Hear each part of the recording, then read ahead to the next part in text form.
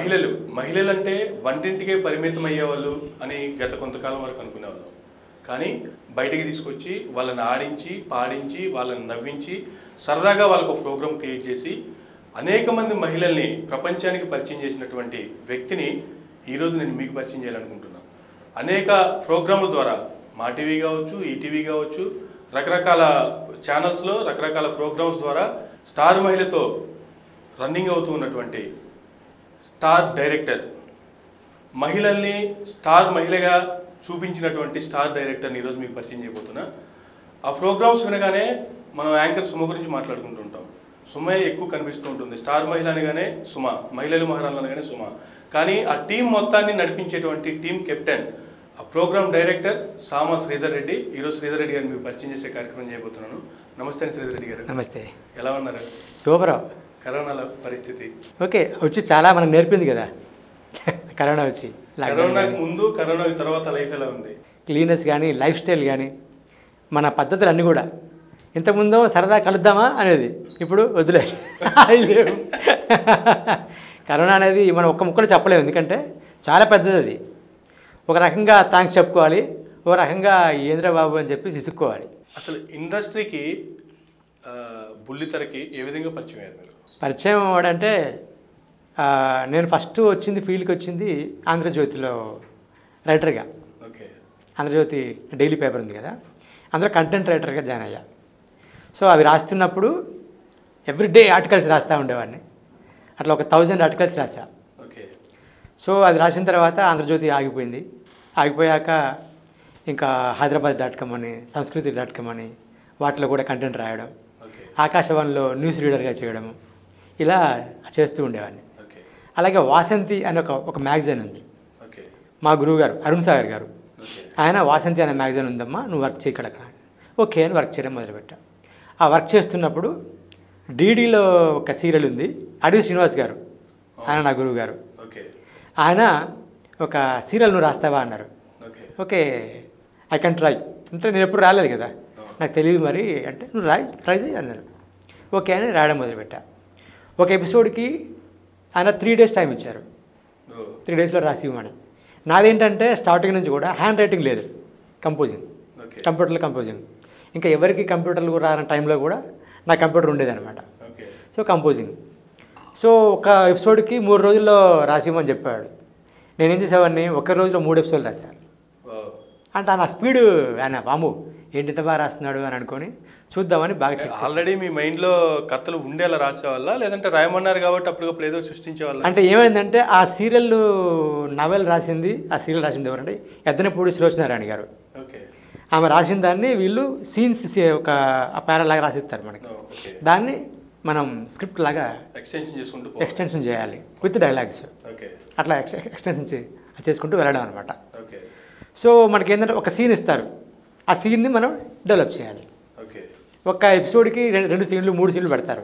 ఆ మూడు సీన్లు మనం డెవలప్ చేయాలి. ఆ తర్వాత ఏమైనా సీరియల్స్ కూడా డైరెక్ట్గా డైరెక్ట్ చేసే అవకాశం ఏమైనా వచ్చిందా? సీరియల్స్కి రాలేదు. ఏమైందంటే అది రాస్తున్నప్పుడు నువ్వు బాగా రాస్తున్నావు చాలా ఫాస్ట్గా ఉన్నావు. కొన్ని కాన్సెప్ట్లు ఇస్తా డెవలప్ చేయన్నారు. జెమినీ టీవీ కోసం ఈటీవీ కోసం ఆయన చేస్తుండేవాళ్ళు. ఎందుకంటే ఆల్రెడీ జెమినీ టీవీలో ఆ ప్రోగ్రామ్కి ఇన్ఛార్జ్గా ఉండి బయటకు వచ్చిన పర్సన్. ఆయన కాన్సెప్ట్ ఇవ్వగానే విని నేను డెవలప్ చేసి ఇచ్చేవాడిని. అరే ఎంత ఫాస్ట్గా ఉన్నావు నువ్వు? భలే చేస్తున్నావు నువ్వు. నువ్వు మా టీవీకి వచ్చేసాయి అన్నాడు. మా టీవీ ఎక్కడిది అని అంటే కొత్తగా వస్తుంది.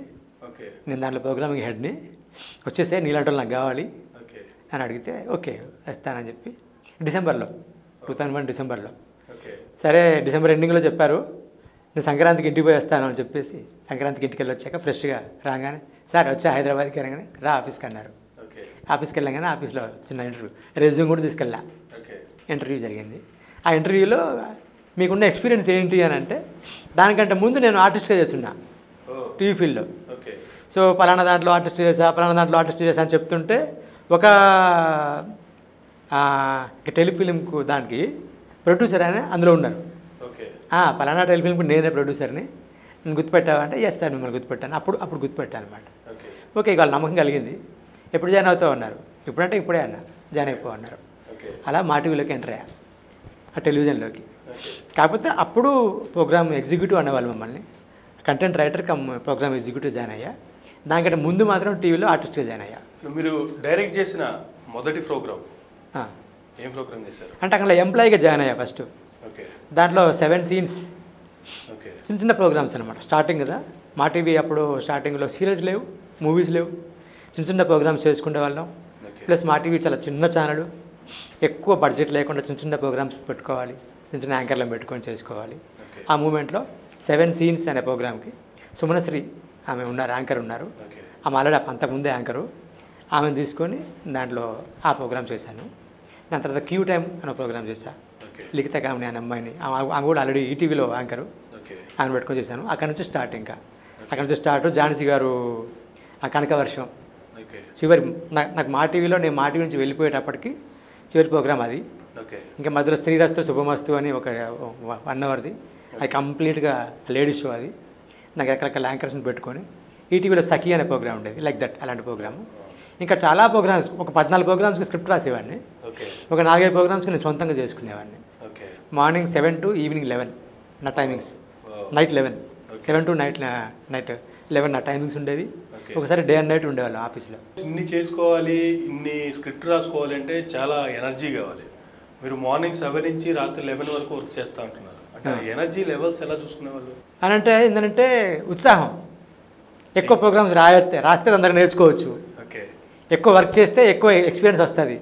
ఓకే. ఇక్కడ మెయిన్ ఏంటంటే కొంతమంది అనేవాళ్ళు ఓ మార్నింగ్ సెవెన్కి వచ్చి ఈవినింగ్ నైట్ లెవెన్ దాకా ఓ డే అండ్ నైట్ ఉంటాడు ఎక్కువ శాలరీ ఇస్తారా ఏంటి? అని. నా ఏమి శాలరీ అని కాదు.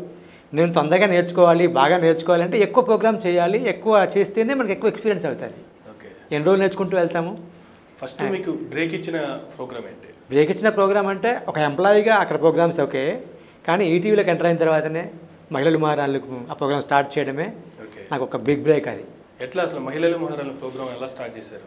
ఆ మా టీవీలో అవకాశం వచ్చింది. ఆ, మా టీవీలో ప్రోగ్రామ్స్ చేస్తా ఉన్న ఎంప్లాయీగా ఉన్నాను ఫోర్ ఇయర్స్ ఉన్నాను. కానీ సో లైఫ్ అనేది going on so so and so వెళ్తూ ఉంది. నాకు నేను చేసుకున్నాను కదా ఒక పెద్ద ప్రోగ్రామ్ చేస్తే బాగుండు అన్న ఒక ఐడియా ఉండేది. ఒక మిత్రుడు గోపాలకృష్ణ అని ఒక మిత్రుడు ఉండేవాడు. ఆయన యురక కస్టమర్స్ అనే ప్రోగ్రామ్ చేస్తుండేవాడు సుమ గారు ఆ ప్రోగ్రామ్కి యాంకర్. ఓకే. నాకు ఆమె అంటే చాలా ఇష్టం. ఓకే. నా ఫేవరెట్ యాంకర్ అనమాట ఓకే. సో గోపాలకృష్ణతో అంటుండే అండి సుమ గారు నాకు చాలా ఇష్టం అండి. అంటే రండి నేను పరిచయం చేస్తా అన్నాడు. అట్లా వద్దు పరిచయం వద్దు. ఒక ఫ్యాన్గా వెళ్ళి పరిచయం నాకు ఇష్టం లేదు. యాజ్ డైరెక్టర్గా పరిచయం అవుతాను నేను. నేను ప్రోగ్రామ్ చేస్తా ఆమెతో. అప్పటిదాకా వెయిట్ చేస్తాను అని అక్కడ ఆమె స్టూడియోలో ఉండి కూడా ఇట్లా చూసి వెళ్ళిపోయాడు తప్ప పరిచయం చేసుకునేవాడిని కాదు. గోపాలకృష్ణ కూడా సరే నీ ఇష్టం నువ్వు ఎలా అంటే అలా అనేవాడు. నేను రైటర్ కమ్ డైరెక్టర్ని కాబట్టి ఆయన రైటర్ కమ్ డైరెక్టర్. ఆయన ప్రోగ్రామ్ ఆయన రాసుకుంటాడు ఆయన డైరెక్షన్ చేసుకుంటాడు. ఆయనకు విజయవాడలో వర్క్ ఉండి అత్యవసర వర్క్స్ ఉండి ఓ ten days fifteen days leave పెట్టి వెళ్ళిపోయేవాడు. సో ప్రోగ్రాము దెబ్బతినొద్దు. రైటర్ కమ్ డైరెక్టర్ అవ్వాలని చెప్పేసి నాకు ఇచ్చాడు. నేను లేనప్పుడు మీరు చెయ్యండి ప్రోగ్రామ్ పడిపోకుండా ఉంటుందని. అప్పుడు నాకు ఇస్తే నా స్టైల్ మేకింగ్లో నేను షూట్ చేసేవాడిని. ఓకే నా స్టైల్ ఉంటుంది కదా. అది కొంచెం స్పీడ్గా ఉండేది. అంటే నీ వర్కింగ్ స్టైల్ స్పీడ్గా ఉంటుంది అని ఎవరు చెప్తారు? Anchor and team. Technical team చెప్తారు. అవును. వాళ్ళు చెప్తే తెలిసేది నాకు. లేకపోతే వర్క్ ఇంతేనేమో అనుకునేవాడిని. ఓహో స్పీడ్గా ఉందా అని. సుమ గారిని ఒక త్రీ అవర్స్ ఉండండి చాలు అనేవాడిని. ఆ త్రీ అవర్స్లో చేసుకునేవాడిని. లేకపోతే one hour one and half hour కరెక్ట్గా ప్లాన్ చేసామని రాగానే షూట్ చేసి పంపించేసేవాడిని ఓకే. ఇలా రెగ్యులర్గా చేస్తూ ఉంటే ఆ ప్రోగ్రామ్ డైరెక్టర్గా ఉన్నప్పుడు బాండింగ్ పెరుగుతుంది. అంటే వర్క్ ఎలా చేస్తున్నాను? ఆ యాంకరింగ్ నాకు విపరీతంగా నచ్చేది. బస్ భలే చేస్తుంది యాంకరింగ్ అని. ఎందుకంటే ఆల్రెడీ సీనియర్ అప్పటికే బాగా చేస్తూ ఉంది. సో అట్లా మాట్లాడుకుంటా ఉంటే ఒక మంచి పెద్ద ప్రోగ్రామ్ ప్లాన్ చేయండి. చిన్న చిన్న ప్రోగ్రామ్స్ కాకుండా పెద్ద ప్రోగ్రామ్ ప్లాన్ చేయండి. చేద్దాం మనము. అని అప్పుడప్పుడు అంటూ ఉండేది ఆమె ఒక ఫోర్ ఇయర్స్ అయింది? చిన్న చిన్న సోప్ లాంటి ప్రోగ్రామ్స్ ఎందుకు చేద్దాము? ఒక పెద్ద ప్రోగ్రామ్ చేద్దాము గేమ్ షో చేద్దాము అని అనుకొని ఏ ప్రోగ్రామ్ చేస్తే బాగుంటుంది అనుకొని మధ్యాహ్నం అయితే లేడీస్ ఇంట్లో ఉంటారు. చూసినా చూడకపోయినా వంట చేసుకున్నా ఏ పని చేసుకున్నా టీవీ అయితే ఆన్ చేస్తారు. ఓకే. అందులో డౌట్ లేదు. టీవీ ఆన్ చేసి అప్పుడు ఏదైనా వర్క్ చేసుకుంటూ ఇలా టీవీ చూస్తారు. ఓకే. సో టీవీ ఆన్లో ఉంటే మనకి రేటింగ్స్ వస్తాయి. పెద్ద గేమ్ షోస్ లేవు మధ్యాహ్నం టైంలో లేవు అని టీం అందరం కూర్చున్నాం. నేను సుకుమార్ అండ్ సరిత స్టార్టింగ్లో. కూర్చొని మేము ముగ్గురం కలిసి కూర్చొని దాని గురించి డిస్కస్ చేసుకొని ఒక ప్రోగ్రామ్ డిజైన్ చేసాం డిజైన్ చేసి అప్పుడు పేరు స్టార్ మహిళ అనుకోలేదు కానీ కాన్సెప్ట్ అదే. ఓకే. అది మా టీవీలో చెప్పా. ఓకే. బడ్జెట్ ఎక్కువ అవుతుంది మనకున్న ఛా ఈ ఛానల్కి అంత బడ్జెట్ వర్కౌట్ అవ్వదు కమర్షియల్కి కష్టం. చూద్దాం కమింగ్ డేస్లో చూద్దాంలే అన్నారు.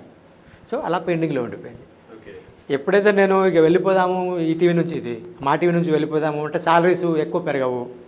చిన్న ఛానల్ వెళ్ళిపోదాం అనుకున్నా. సో వెళ్దాం అనుకున్నా. అప్పటికే ప్రభాకర్ గారు యాహూ ప్రోగ్రామ్ చేస్తున్నప్పుడు సుకుమార్ యాహూ ప్రోగ్రామ్కి అసిస్టెంట్ డైరెక్టర్గా ఉన్నాడు. ఓకే. సుకుమార్ ఎవరైనా మంచి రైటర్ కమ్ డైరెక్టర్ ఎవరైనా ఉంటే చూడు మంచి వాళ్ళు ఎవరైనా ఉంటే పడదాం మనం అంటే. నాకు వచ్చి నాకు చెప్పాడు ఎవరున్నారా మన దృష్టిలో? అనుకున్నా ఊరుకున్నాం.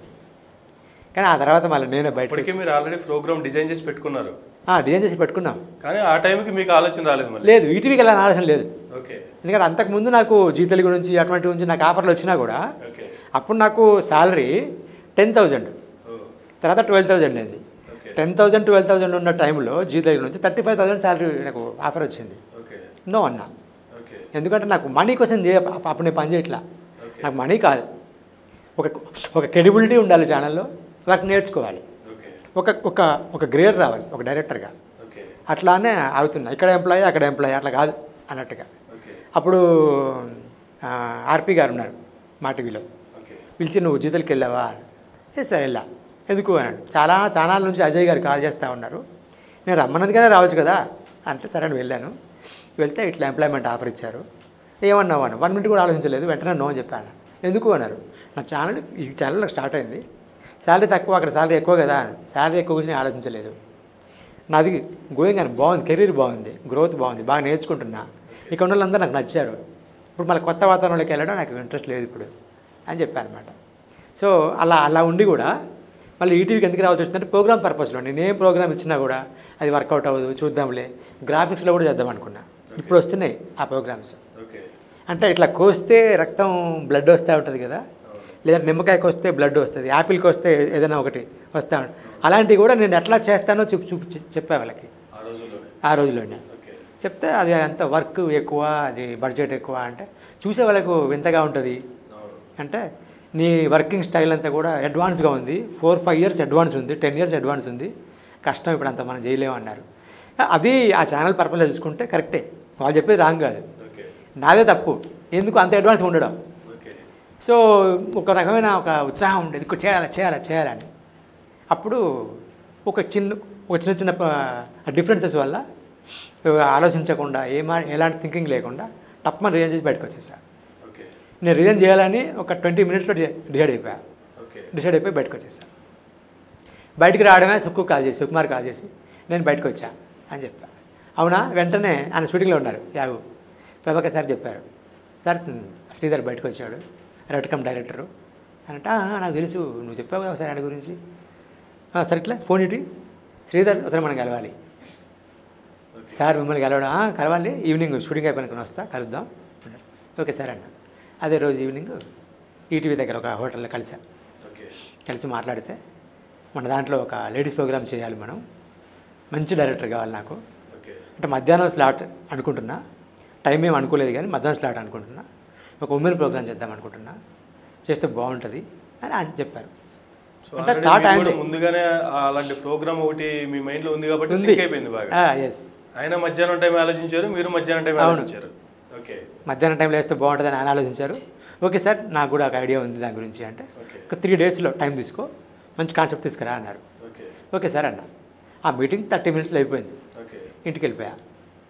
మళ్ళీ నేను సరిత సుక్కు ముగ్గురం కూర్చొని దాన్ని డిజైన్ చేసాం. త్రీ అవర్స్ పట్టింది. Five o'clock five five five thirty meeting అయిపోతే ఎయిట్ ఓ క్లాక్ నాకు కాన్సెప్ట్ రెడీ ఓకే ప్రభాకర్ సార్కి ఫోన్ చేసి సార్ కాన్సెప్ట్ రెడీ అదేంటి? అన్నాడు. రెడీ ఉంది సార్ అన్న. Okay time eight thirty okay. మీ ఇల్లు ఎక్కడ? ఎస్ఆర్ నగర్. ఓకే మా ఇంటికి మీరు టూ టూ కిలోమీటర్స్ వచ్చేస్తారా? అన్నాడు. ఓకే సార్ అని వెళ్ళిపోయాను. ఓకే వెళ్ళిపోయి ఎక్స్ప్లెయిన్ చేసా అప్పుడు. గుడ్ బాగుంది. వెరీ గుడ్ రేపు మరి మార్నింగ్ ఆఫీస్కి వచ్చేసేయండి స్టార్ట్ చేద్దాం అన్నారు. అంతే. అంత ఈజీగా అంత ఫాస్ట్గా ఎవరు చేయలేరు. మన next day morning eleven o'clock కల్లా ఆఫీస్కి వెళ్ళిపోయా. ఓకే. పోవడం మామూలుగా వెళ్ళా ప్రోమో పట్టుకొని వెళ్ళా ప్రోమో రాసుకొని. ఓకే. వెళ్ళిపోగానే ప్రోగ్రామ్ డిస్కస్ చేసాము యాంకర్ ఎవరు అనుకుంటున్నారు అన్నారు. సుమగారు అనుకుంటున్నానండి సుమగారు నాకు మంచి ర్యాప్ ఉందా మీకు అని మంచి ర్యాప్ ఉంది. సుమగారు పక్కానా అంటే ఆ పక్కాస్ అండి ఇంకెవరైనా అనుకుంటున్నారా అండి? వేరే లేదు సార్. ఇంకా వేరే వాళ్ళతో కూడా మీకు ర్యాప్ ఉంది అంటే జాన్సీ గారితో ర్యాప్ ఉంది సూర్యకవన్ గారితో ర్యాప్ ఉంది. అంటే కొంతమంది యాంకర్తో ర్యాప్ ఉంది కానీ వాళ్ళని నేను తక్కువ చేయడం కాదు కానీ నాకు ఈ ప్రోగ్రామ్కి సుమగారు బాగుంటారు అనుకుంటున్నా అన్న. Okay nice. నేను కూడా సుమగారు అనుకున్నా.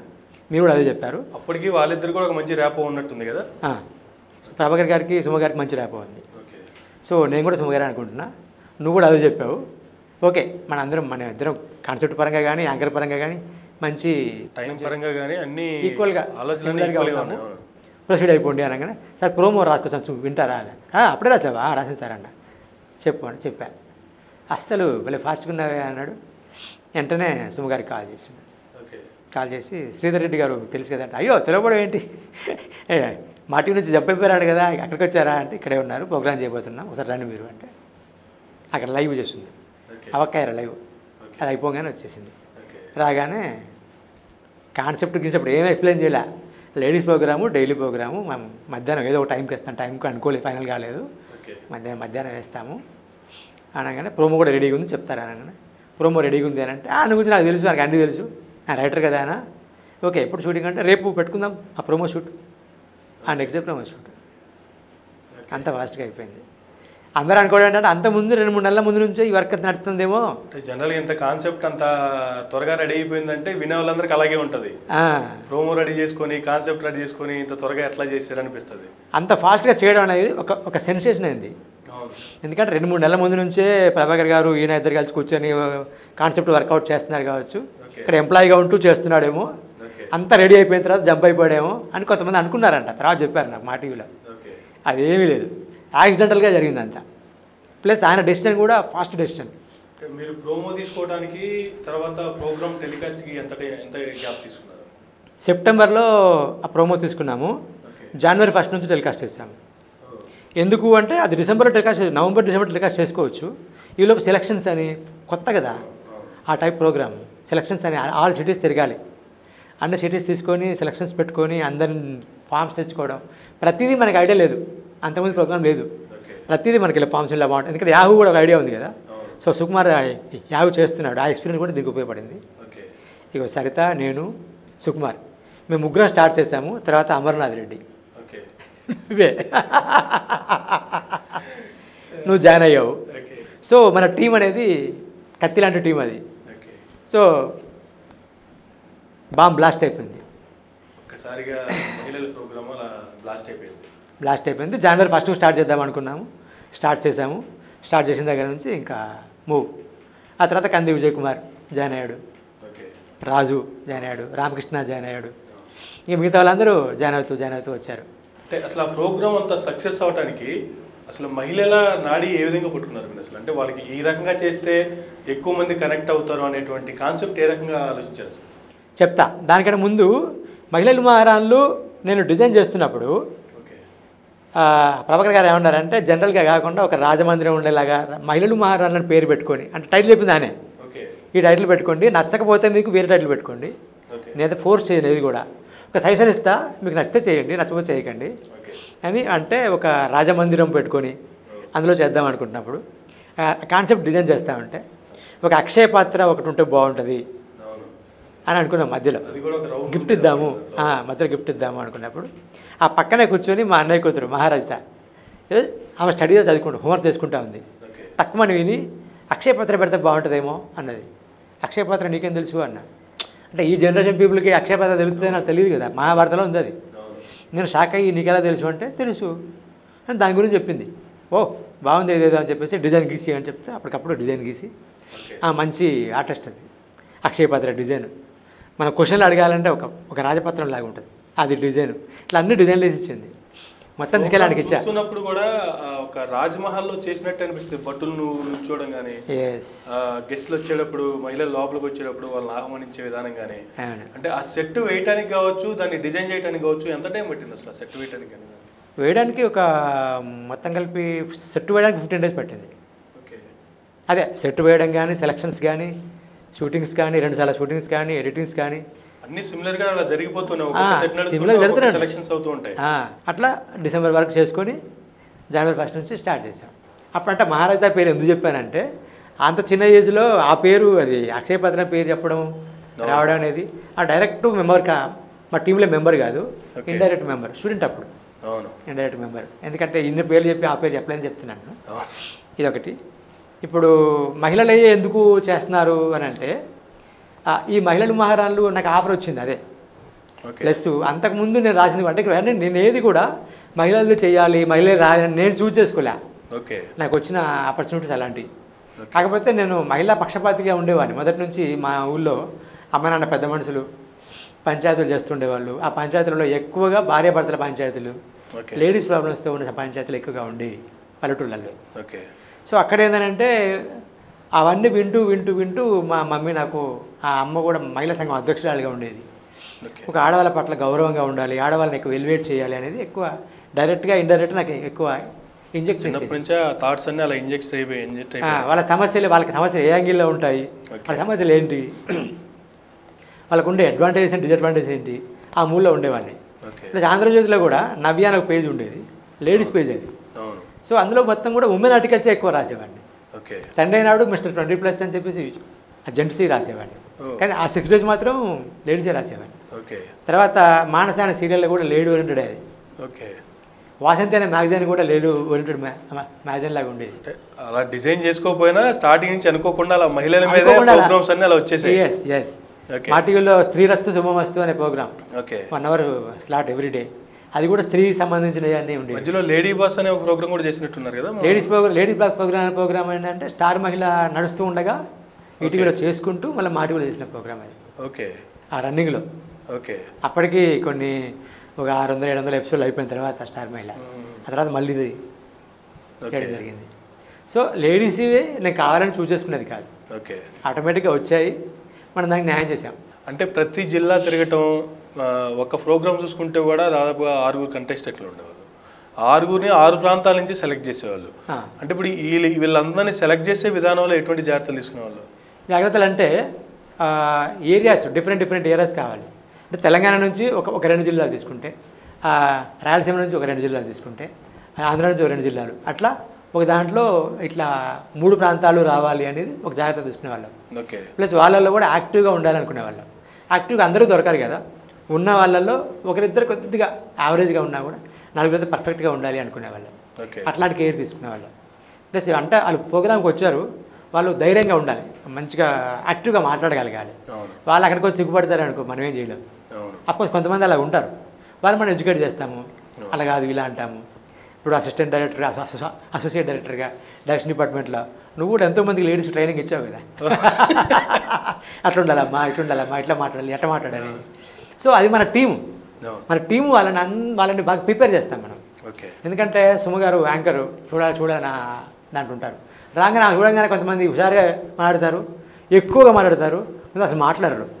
వాళ్ళందరినీ బ్యాలెన్స్ చేసుకుంటూ మనం వెళ్ళాలి. అంటే ఇప్పుడు ఆ ప్రోగ్రామ్ అంత సక్సెస్ అవటానికి గల కారణం డైరెక్టర్గా శ్రీధర్ రెడ్డి గారి డైరెక్షనా యాంకర్గా సుమ గారి పర్ఫార్మెన్సా లేదా మీరు చెప్పినట్టు మూడు ప్రాంతాల నుంచి ఇద్దరిద్దరిని తీసుకోవడం అనేటువంటి మహిళల యొక్క సెలక్షన్సా నంబర్ వన్ కాన్సెప్ట్లో దమ్ము ఉండాలి ఓకే.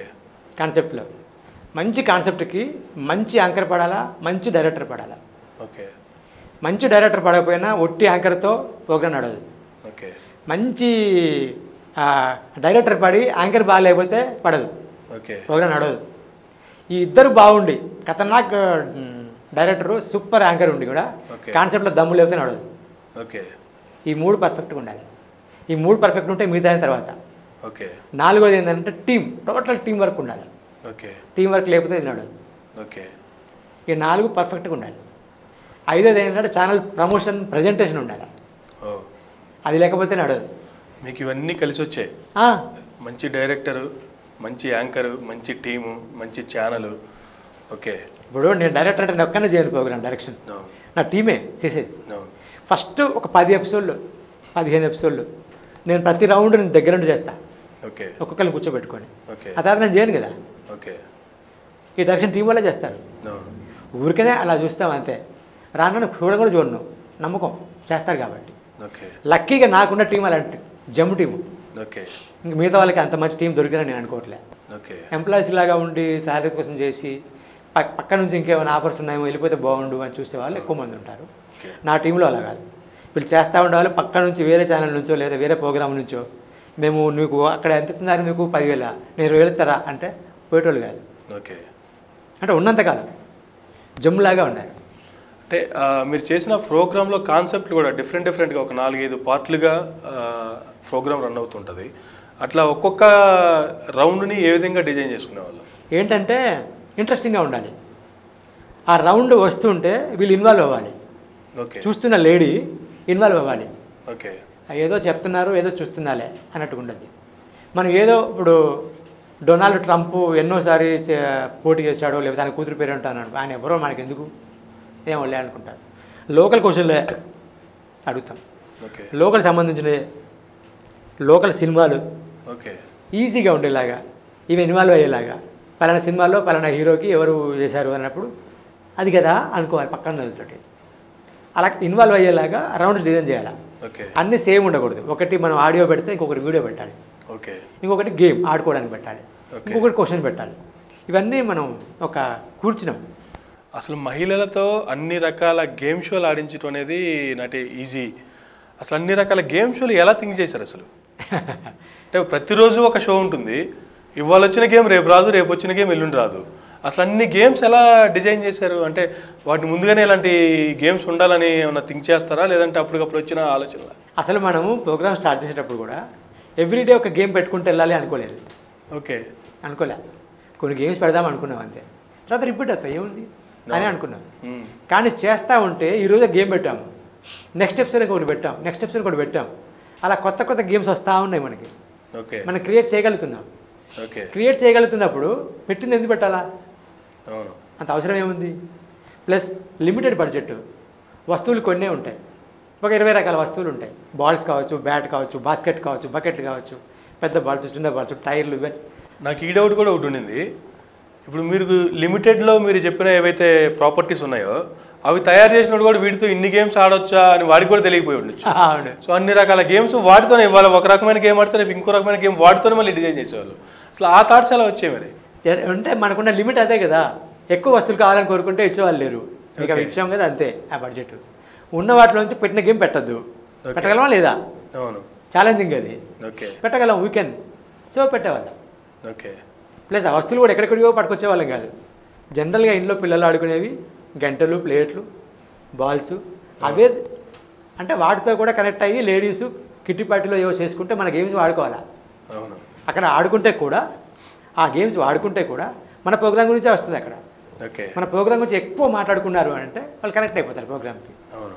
సో కనెక్టివ్ ఆ పీపుల్ ఉంటారు. వచ్చి చూసిపోయే వాళ్ళు కాదు మనకు కావాల్సింది. కనెక్టివ్ పీపుల్ కావాలి. అది మనం సాధించాం. ఓకే. అందుకే అన్ని అన్ని ఎపిసోడ్లు అయినా కూడా రేటింగ్స్ చిన్న చిన్న అప్ అండ్ డౌన్స్ ఉంటాయి కానీ కంప్లీట్ డౌన్ అవ్వలేదు. మహిళలు మహారాణులు ప్రోగ్రామ్ నడుస్తున్నప్పుడు ఇప్పుడు మీరు చెప్పినట్టుగా మీకు ఇచ్చినటువంటి ప్రభాకర్ గారితో మీకు ఎటువంటి బాండింగ్ ఉండేది? లేదు యాంకర్తో ఎటువంటి బాండింగ్ ఉండేది అంటారు? ఆ, ముఖ్యంగా ప్రభాకర్ గారు మీరు అడిగారు కాబట్టి చెప్తున్నా. కొంతమందికి అను అనుకునేవాళ్ళు ఆయన ఉంటే ప్రోగ్రామ్ ఎవరిని చేయలేడు నువ్వు చెప్పినట్టు చేయాలంటాడు. ఆయన డైరెక్షన్లోనే నడవాలి అనే అని కొంతమంది అన్నారు. నాకైతే ఎక్కడ కనపడలే. ఓకే ఫుల్ ఫ్రీడమ్ ఇచ్చారు. ఆయన కాన్ఫిడెన్స్ ఉండాలి. ఈ పర్సన్ బాగా చేయగలడు మనం చెప్పాల్సిన అవసరం లేదు అనే కాన్ఫిడెన్స్ ఉంటే ఫ్రీగా వదిలేస్తారు. ఆయన మిమ్మల్ని ఏదైతే కాన్ఫిడెన్స్తో మిమ్మల్ని నమ్మి ఒక బాధ్యత మీ మీద పెట్టారో దాన్ని మీరు హండ్రెడ్ పర్సెంట్ నిర్వర్తించారని తర్వాత ఎప్పుడైనా మళ్ళీ ఆయన అప్రిషియేట్ చేయడం ఆయన అన్నారు. ఓకే నాకు నేను అనుకోవడం కాదు కదా. అవును. ఆయనే అన్నారు. వదిలేసా ఆయన వాళ్ళు వాళ్ళు బాగా చేసుకుంటారు. మనం ఎవరిని వాళ్ళతో మనం మాట్లాడుకోలేదు మనం ఎవరిని వాళ్ళని ఏంటి ఇది అని అడగాల్సిన అవసరం లేదు. వాళ్ళు వాళ్ళు చేసుకుంటారు వాళ్ళ టీం అంతా పర్ఫెక్ట్ అని ఆయన వేరే వాళ్ళతో అన్నారు. ఓకే సో అది మన కాంప్లిమెంటే ఆయన ఎక్కడ కూడా మన దాంట్లో ఇన్వాల్వ్ అయ్యాల్సిన అవసరం అవసరం రాలేదు. ఓకే ఆయన కూడా రిలాక్స్ అయిపోయారు. ఓకే ఆయన చేసుకుంటారులే. ఇప్పుడు డైరెక్టర్ నమ్మకం లేకుంటే అటు ఇటుగా ఉందనుకో అప్పుడు కంపల్సరీగా ఏమైంది చేసావా? నాకు చూపించు. ఓకే ఇదేంటి అదేంటి? అని అంటారు. స్టార్టింగ్ షూటింగ్ అప్పుడు కూడా సార్ రండి సార్ రండి సార్ అంటే.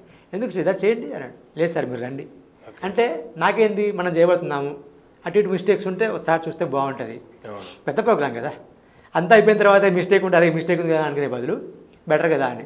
అలాగే ఎడిటింగ్ కూడా ఎడిటింగ్ అయిపోయిన తర్వాత అవుట్పుట్ చూసి సార్ ఒకసారి అవుట్పుట్ చూడండి అని అంటే పర్లేదు శ్రీధర్ నేను చూస్తాను తర్వాత చూస్తాను. లేదు సార్ మీరు చూడండి చూసి చెప్పండి నాకు అని. చూసి చెప్పారు. ఒకటి రెండు కరెక్షన్ చెప్పారు. నాకు అది మంచిగా అనిపించాయి. ఓకే. ఓకే ఓ ఇలా ఉండకూడదు కదా కరెక్టే అని చెప్పి మళ్ళీ అవి చేంజ్ చేసుకొని వెళ్ళిపోయాం. అంటే స్టార్టింగ్లో ఆయన అంత మంచిగా చెప్పారు. ఆయన చెప్పింది మనకు ప్లస్ అయింది. మైనస్ అయితే అవ్వలే. ఓకే నెగిటివ్ అయితే కాదు పాజిటివ్ ఓకే పాజిటివ్ ఎనర్జీ ఇచ్చారు. సో ఆయన ఎంకరేజ్మెంట్ ఆయన కాన్సెప్ట్ మనం చెప్తే కూడా మొత్తం వినరు. అలా చెప్పగానే ఇలా అర్థమైపోయింది దానికి ఓ ఇంకా వేరే వాళ్ళకి అయితేనేమో ఒక అరగంట ఎక్స్ప్లెయిన్ చేయాలి. ఆయనకైతే ఆరు నిమిషాలు చాలు. ఓకే కాన్సెప్ట్ అంతా. ఓకే పనులు తెచ్చి తీసేసుకుంటారు. యాంకర్ సుమ గారికి. యాంకర్ సుమ గారికి. ఆల్రెడీ నాకు అంత ప్రోగ్రామ్ మహిళలు మారాలు స్టార్ట్ చేయడానికి ముందే ఒక బాండింగ్ ఉండేది. ఓకే. అది కూడా పర్సనల్ బాండింగ్ లాగా ఒక ఒక బ్రదర్ సిస్టర్ లాగా కూడా అయిపోయింది. ఓకే. ఇంకా వాళ్ళ పిల్లలు కూడా మామ మామ అనుకుంటూ ఉండే ఉండేవాళ్ళు. అట్లా ఒక ఒక ఫ్యామిలీ లాగా. ఇప్పుడు మన టీంలో కూడా ఒక- ఒక ఫ్యామిలీయే ఒక నాకు ఒక తమ్ముడు ఒక చెల్లి ఒక బాబాయ్. నేను అన్నట్టుగా ఉండేవాళ్ళము. సో ఈ టీం కూడా ఫ్యామిలీ టీం లాగా ఉండేది. సరదా అందరం కలిసి సరదాగా అలా పిక్నిక్ వెళ్ళి పని చేసుకొని వస్తున్నాం అన్నట్టుగా ఉండేది. ఏదో సీరియస్ వర్క్ లేదు సరదాగా నవ్వుకుంటూ ఎంజాయ్ చేసుకుంటూ ఆడుతూ పాడుతూ సే- పని చేస్తుంటే అన్న స్టైల్లో ఉండేది. Suma garu very flexible okay comfortable అని అంత ఇంత అని ఏమీ ఉండదు. ఎన్ని ఎపిసోడ్ షూటింగ్ చేసినా స్టార్ డైరెక్టర్ స్టార్ యాంకర్ అయినా సరే ఆమెకి ఆ ఫీలింగ్ లేదు. హ్యాపీగా కలిసి వర్క్ చేసుకోవటం. ఇప్పుడు డైలీ షో చేయాలంటే నెలకి ఎన్ని రోజులు మీరు షూట్ చేసేవాళ్ళు? ఎన్ని డైలీ షో అంటే నెలకు ఇరవై ఆరు ఎపిసోడ్లు అవును. ఒక రోజుకు నాలుగు ఎపిసోడ్లు చేసేవాళ్ళం. ఓకే. ఒక రోజుకి. అంటే ఒక ఒకసారి ఫోర్ డేస్ ఒకసారి ఫైవ్ డేస్ ఓకే. రెండు షెడ్యూల్ పెట్టేవాళ్ళం. ఓకే. ఫోర్ డేస్లో వచ్చేసి నా నెల పదహారు లేదంటే ఒక పదిహేను వచ్చేవి. ఆ ఫైవ్ డేస్లో కూడా అంతే ఒక పదిహేను ఇరవై వచ్చేటి. ఓకే. మనకు కావాల్సినవి ఇరవై ఆరే కదా ముప్పై వచ్చేటి ఎపిసోడ్లు ఓకే. ఇరవై ఆరు కాకుండా ఇరవై ఎనిమిది ఇరవై తొమ్మిది అట్లా వచ్చాయి ఇట్లా నెలకి రెండు షెడ్యూల్ చేస్తున్నప్పుడు ప్రతి నెలలో వచ్చే స్పెషల్స్ ఏమైనా ఉంటాయి పండగలు కావచ్చు లేదంటే లైక్ స్వాతంత్ర దినోత్సవం లాంటివి కావచ్చు ఇటువంటి వాటిని కూడా మాక్సిమం కవర్ చేస్తూ ఉండేవాళ్ళు కదా. సో వీటిని ఎలా కవర్ చేసేవాళ్ళు? ముందుగానే. మనకున్న షెడ్యూల్స్లో నెక్స్ట్ ఏవి ఉన్నాయో ముందే చూసుకొని ప్రీ ప్లాన్గా చేసుకునే వాళ్ళ మొత్తం ప్రీ ప్లానింగే ఓకే ఏ డేట్ నుంచి ఏ డేట్ వరకు మనకు మన- షూట్ చేయబోతున్నాం ఇప్పుడు. ఓకే ఈ- షెడ్యూల్లో ఎన్ని ఎపిసోడ్లు చేస్తున్నాము. ఫిఫ్టీన్ ఎపిసోడ్స్ ఓకే ఈ ఫిఫ్టీన్ ఎపిసోడ్స్లో ఏమేమి వస్తున్నాయి? ఓకే పండుగలు వస్తున్నాయా? స్పెషల్ డేస్ వస్తున్నాయా? రిపబ్లిక్ డే వస్తుందా? ఏమొస్తుంది చూసుకొని. దానికి తగ్గట్టుగా సెట్ డిజైన్ చేసుకోవడం కానీ పార్టిసిపెంట్ని పెట్టుకోవడం కానీ కాస్ట్యూమ్స్ కానీ స్క్రిప్ట్ కానీ టోటల్ డిజైన్ చేసుకునే వాళ్ళం. Totally pre planning. అంటే కంటిన్యూగా ఈ ప్రోగ్రామ్స్ ఇలా రన్ అవుతుంటే వీటికి మీ పర్సనల్ లైఫ్కి ఎలా మేనేజ్ చేసుకునేవాళ్ళు అంటే మార్నింగ్ సెవెన్ నుంచి రాత్రి పదకొండు వరకు కంటిన్యూ వర్క్ అని చెప్పారు. నేను సింగిల్ కాబట్టి నడిచింది బాగా. Still still you're single still no no still no అప్పుడు మా టీవీలో కానీ మహిళలు మారాలి కానీ స్టార్ మహిళ కానీ నేను సింగిల్. అంటే సింగిల్గా ఉన్నారు కాబట్టి ఇన్ని ప్రోగ్రామ్స్ ఇలా సక్సెస్ఫుల్గా రన్ అయినాయి అంటారా? అంటే ఇప్పుడు సింగిల్గా ఉన్నా కూడా సక్సెస్ అయినానంటే ఇక మ్యారేజ్ అడ్డంకి అంటారు అది కాదు. అది- అది అది పాయింట్ కానీ కాదు. నెక్స్ట్ అదే అడుగుదాం అనుకున్నా. అది కాదు. నేను సింగిల్గా ఉన్నా కాబట్టి ఎక్కువ టైం స్పెండ్ చేశా. ఓకే. ఎగ్జాంపుల్ ఏంటంటే స్టార్ మహిళ స్టార్ట్ అయినప్పుడు షార్ట్ టైం తక్కువని స్టార్ట్ చేయాలి ఇప్పుడు అన్నారు. ఓకే. టకీమని ఆ ఇరవై ఆరు ఎపిసోడ్ల ప్రోగ్రామ్ని టకీమని వెంటనే స్టార్ట్ చేయాలంటే ఇప్పుడు మహిళలు మారాళ్ళు షార్ప్గా డెసిషన్ తీసుకున్నాం కానీ షూటింగ్ చేయడానికి టెలికాస్ట్ చేయడానికి చాలా టైం దొరికిందిగా. ఓకే. మహిళ అలా కాదు one week time okay. One వీక్లో సెట్ అవ్వాలి పార్టిసిపెంట్స్ రావాలి షూటింగ్ చేయాలి ఎడిటింగ్ చేయాలి టెలికాస్ట్ చేసేయాలి. అసలు స్టార్ మహిళ దానికి ముందు మహిళలు మహారాణులు ఎందుకు మహిళలు మహారాణులు స్టార్ మహిళగా మారింది? అసలు ఈ గ్యాప్లో ఏం జరిగింది? మహిళలు మారాళ్ళు అనేది ఒక సక్సెస్ఫుల్ ప్రోగ్రామ్. నాలుగు వందల ఎపిసోడ్ ఓకే. ఫాస్ట్గా వెళ్ళిపోతూ ఉంది అది. ఓకే. అది ఇప్పటికీ ఉండేది స్టార్ మహిళ రాకపోతే. ఓకే. మహిళలు మారాళ్ళు రన్ అవుతూ ఉండేది. ఓకే. ఆ మధ్యలో అది సుమన్ గారు దాన్ని డీల్ చేస్తుండేవాళ్ళు. ఓకే. రామోజీరావు గారు కాకుండా సుమన్ గారు చూసుకునేవాళ్ళు. ఓకే. ఆ మధ్యలో రామోజీరావు గారికి సుమన్ గారికి డిఫరెన్స్ వచ్చినాయి అందరికీ తెలిసిందే. వచ్చినప్పుడు సుమన్ గారు నా ప్రోగ్రామ్ చేయొద్దు అని ఆపేశారు. ఓకే. సో ప్రభాకర్ గారు సుమన్ గారు అప్పుడు ఈటీవీ నుంచి బయటికి రావాల్సి వచ్చింది. ఆ టైంలో మహిళల మారడం ఆగిపోయింది. అది ఒకటే కాదు ఆల్ ప్రోగ్రామ్స్ ఆగిపోయాయి. టోటల్ ఆగిపోయి వీళ్ళు ఏవైతే స్టార్ట్ చేశారో ఆ ప్రోగ్రామ్స్ అన్ని అన్నీ ఆగిపోయి ఈటీవీలో ఓన్లీ మూవీస్ వేస్తున్న టైం అది. ఓకే. వాళ్ళు ఇమీడియట్గా ప్రోగ్రామ్ స్టార్ట్ చేయాలన్నారు. ఫస్ట్ స్టార్ట్ అయిన ప్రోగ్రామ్ స్టార్ మహిళ ఆ టైంలో అంటే. మీ ప్రోగ్రామ్ మహిళలు మహారాణులు అప్పటి వరకు సక్సెస్ఫుల్గా రన్ అయింది కాబట్టి మీతోనే స్టార్ట్ చేశారా? అదే స్లాట్లో నేనే చేస్తే బాగుంటుందని వాళ్ళు అనుకున్నారు. ఓకే. ఈటీవీ మేనేజ్మెంట్ అనుకొని వేరే వాళ్ళకి ఎవరికి ఇవ్వడానికి ఆయనకే ఇద్దాం ఆయన చేస్తున్నారు. సక్సెస్ఫుల్గా చేస్తున్నారు కదా వాళ్ళు కూడా. రేటింగ్స్ మంచిగా ఉన్నాయి కదా. అదే anchor same anchor same director. Concept change. Same programme కాకుండా. చేంజ్ చేసి చేద్దామని అనుకున్నారు. నాకు చెప్పారు. నేను ఆ ప్రభాకర్ గారికి కాల్ చేశా. సార్ మరి ఇట్లా నన్ను చేయమంటున్నారు. మీరేమంటారు? ఇంకా వాళ్ళకి డిఫరెన్సెస్ ఉన్నాయి కదా. మనం చిన్నోళ్ళం. అందులో ఎంత? ఆకులు లాంటి వాళ్ళం. వాళ్ళు కొమ్మలు చెట్లు లాంటి వాళ్ళు కదా. అందుకని నాకు ఆ ఇచ్చిన ఆఫర్ ఇచ్చింది ఆయన కాబట్టి ఏం చేయమంటారు అంటే చేసేయి ప్రోగ్రామ్ బాగా చేయి. మేనేజ్మెంట్ నేను నేను నేను పిలిచి చూపించుండొచ్చు. ఇప్పుడు వాళ్ళు నీకు ఆపర్చునిటీ ఇస్తున్నారు. బాగా ప్రోగ్రామ్ అతనే బాగా చేయి మంచి పేరు తెచ్చుకో. ఓకే. రేటింగ్స్ మంచిగా ఇవ్వు. వాళ్ళ దగ్గర కూడా మంచి పేరు తెచ్చుకో. నా దగ్గర మంచి పేరు తెచ్చుకున్నావుగా? అలాగే ఈటీవీ మేనేజ్మెంట్ దగ్గర కూడా మంచి పేరు తెచ్చుకో అని చెప్పి నాకు పాజిటివ్గా చెప్పి చేసేయి బాగా చేసేయి అన్నారు. ఉన్న పేరు మాత్రం పోగొట్టుకోవద్దు. మంచి రేటింగ్స్ ఇవ్వు. పాజిటివ్గా చెప్పారు. అంటే మనం జనరల్గా ఏం ఎక్స్పెక్ట్ చేస్తామంటే వాళ్ళ మీద కోపంతో ఉన్నారు కాబట్టి పాడైపోవాలనుకుంటారేమో కానీ ఆల్మోస్ట్ మిగతా ప్రోగ్రామ్స్ అన్ని కూడా క్యాన్సిల్ చేస్తారు కదా. అవును. సో ఈ ఒక్క ప్రోగ్రామ్ రన్ చేశారంటే ఇప్పుడు స్టార్ మహిళ చేయడానికి ఈటీవీ నుంచి ఎవరు ప్రపోజల్ పెట్టారు? Star Mahila programme concept start చేయడానికి ఇప్పుడు అప్పుడంటే ప్రభాకర్ గారు పిలిచి చెప్పారు. ఇప్పుడు ఈటీవీ నుంచి ఆ ప్రపోజల్ మీకు ఎవరు ఇచ్చారు? ఈటీవీ నుంచి అజయ్ శాంతి గారు బాబినేడు గారు. ఓకే. ఫస్ట్ వాళ్ళిద్దరే కలిసింది. తర్వాత మూర్తి గారు యాడ్ అయ్యారు. ఓకే. వాళ్ళు వచ్చారు వచ్చి మీరు మీరు చెయ్యండి కంటిన్యూ చేయండి సేమ్ రేటింగ్ ఇవ్వండి మంచి కాన్సెప్ట్ డిజైన్ చేయండి.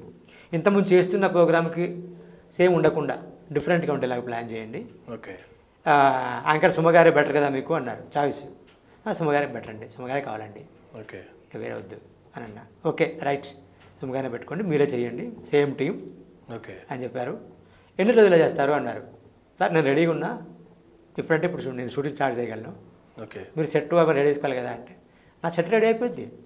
నేను రెడీ. అన్నారు బాపిరెడ్డి గారు. ఓకే. ఫిఫ్టీన్ డేస్ పడుతుంది ఒక సెట్ రెడీ చేయడానికి. ఆయన టూ డేస్లో చేశారు.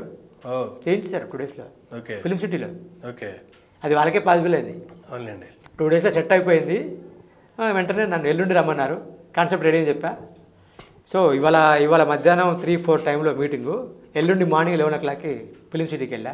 With concept. తీసుకెళ్ళి కాన్సెప్ట్ ఎక్స్ప్లెయిన్ చేశా. ఓకే. ఎక్స్ప్లెయిన్ చేస్తే దీంట్లో గోల్డ్ క్యాన్స్ పెడదాము మంచి మంచి గిఫ్ట్లు పెడదాము అన్నారు. గిఫ్ట్లు ఉన్నా లేకున్నా కాన్సెప్ట్లో దమ్ముంది సార్ ఇది నడుస్తుంది. గిఫ్ట్లు అనేది మీ ఇష్టం మీరు ఇస్తానంటే నేను కాదన్నా. అని చెప్పా. ఓకే కాన్సెప్ట్ ఓకే డన్ బాగుంది. మార్పులు చెల్పులు పెద్దగా ఏం చెప్పలేదు. నచ్చింది వాళ్ళకి. ఓకే. అజయశాంతి గారు ఏంటంటే ఆయన చూస్తారు. ఇలా సత్తా ఉంది అనుకుంటే ఇక పెద్దగా పట్టించుకోరు ఇంకా. చేస్తారులే. వదిలేస్తారు. సత్తా లేదు అనుకుంటే ఇక ఆయన ఇన్వాల్వ్ అవుతారు అట్లా కాదు ఇలా చేయండి ఇలా కాదు అలా చేయండి అని ఒక ఎగ్జిక్యూటివ్ పిలిచి కూర్చోండి ఆయనకు హెల్ప్ చేయండి. మంచి డైరెక్టరే పాపం కానీ కొంచెం చూడండి. సపోర్ట్ చేయండి అని చెప్తారు. ఓకే బాగా ఖతర్నాక్ డైరెక్టర్ ప్రాబ్లం లేదు అనుకుంటే అసలు ఎవరిని ఎంటర్ ఎంటర్ చేయనివ్వరు.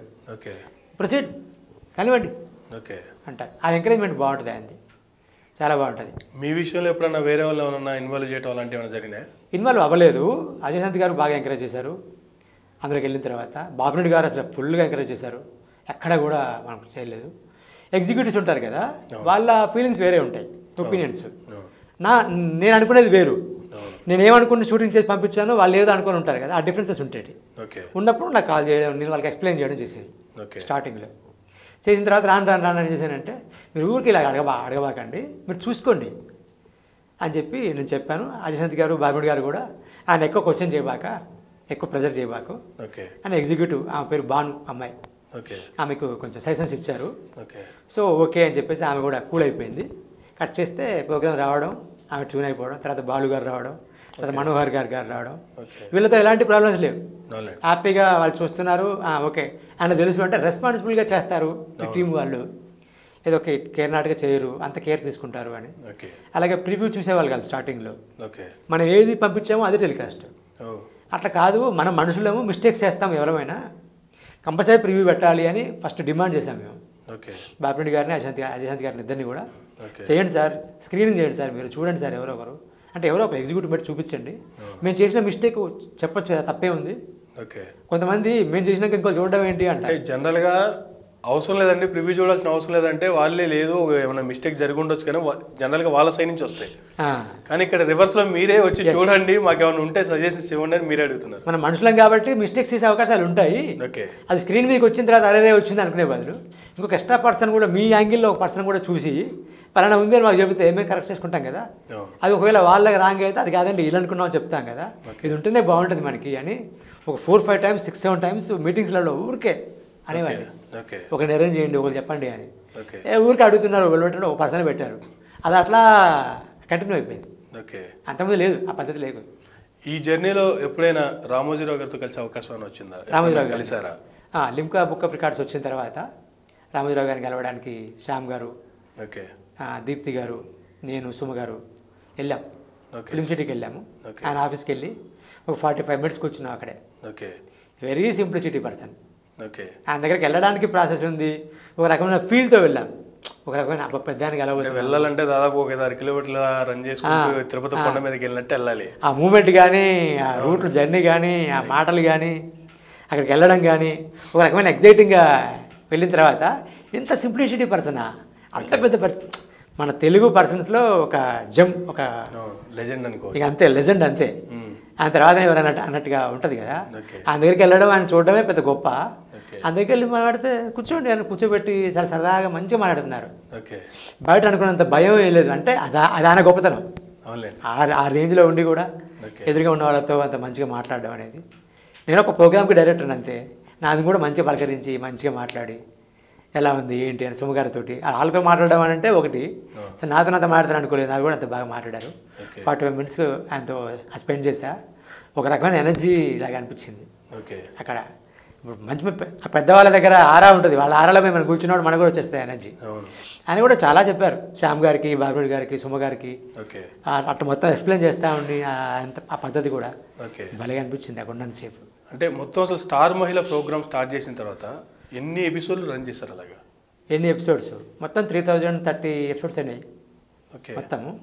మధ్యలో నేను మధ్యలో దాన్ని ఆఫీస్ వెళ్ళిపోయా బయటకు వెళ్ళిపోయా. ఓకే. వెళ్ళాల్సి వచ్చింది. ఓకే. వెళ్ళిపోయి మళ్ళీ కొన్న తర్వాత మళ్ళీ వచ్చా. ఓకే. అంటే అప్పుడు రేటింగ్స్ అప్ అండ్ డౌన్ అయ్యాయి. నేను పోయిన తర్వాత. ఓకే. ఇక్కడ ఏందనంటే నేను ఉంటేనే వస్తుంది నేను రా ఉంటే రాకపోతే నేను లేకపోతే రాదు అని చెప్పట్లేదు కానీ సోల్ పెట్టి పని చేయాలి అంటాను నేను. కాన్సెప్ట్ క్రియేట్ చేసిందే మనం కాబట్టి మన సోల్ పెట్టి దిస్ ఈజ్ మై బేబీ అనుకొని చేస్తాం. ఎవరో చూస్తారు వాళ్ళు మెచ్చుకోవాలి అని కాదు. ఫస్ట్ నాకు నచ్చాలి అనుకుంటాం. మనం చేసిన ప్రోడక్ట్ మనకి నచ్చకుండా వేరే వాళ్ళకి నచ్చుద్దని అనుకోవడం రాంగ్ అది. సో అక్కడ మనం కాంప్రమైజ్ అవ్వకుండా ఎక్కడ కూడా అడ్జస్ట్మెంట్స్ కానీ కాంప్రమైజ్ కాకుండా ప్రతి ఎపిసోడ్ బాగా రావాలి అని ప్రతి ఎపిసోడ్లో ఏదో ఒక కామెడీ ఎలిమెంట్ ఫన్నీ ఎలిమెంట్ పెట్టుకుంటూ ఆ, చూసే జనాలు రిలాక్స్ అవ్వాలి చూసే ఆడియన్స్ రిలాక్స్ అవ్వాలి. భలే ఉందని మాట్లాడుకోవాలి. ఇదే టార్గెట్ పెట్టుకొని చేశాం. కానీ మిగతా వాళ్ళు చేయలేదా అంటే చేయలేదని అనిపించింది నాకు. ఎందుకంటే ఎపిసోడ్ నేను చూసా తర్వాత. ఓకే. ఆ ప్రోగ్రామ్ నేను చేయకపోయినా కూడా నేను క్రియేట్ చేసిన ప్రోగ్రామ్ కాబట్టి అది నా ప్రోగ్రామే అని ఫీల్ అయ్యి నేను చూసేవాడిని. ఓకే. చూస్తే చాలా మిస్ అయ్యేది. కంటెంట్ మిస్ అయిపోతూ ఉండేది. ఓకే. కంటెంట్ మిస్ అయిపోతా ఉంది ఇలా ఎందుకు చేస్తున్నారు అనిపించేది. ఓకే. ఇప్పుడు డబ్బుల కోసం పనిచేస్తే వేరు. ప్రోగ్రామ్ బాగుండాలి అనుకో చేయడం వేరు.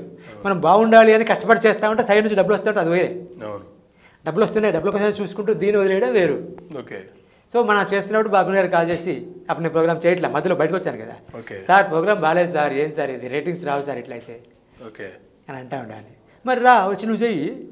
అనేవాళ్ళు ఆయన. అప్పుడు నాకు లేడీ బాస్ ఉంది. ఓకే. దూకుడు అని ఒక ప్రోగ్రామ్ ఉంది. ఓకే.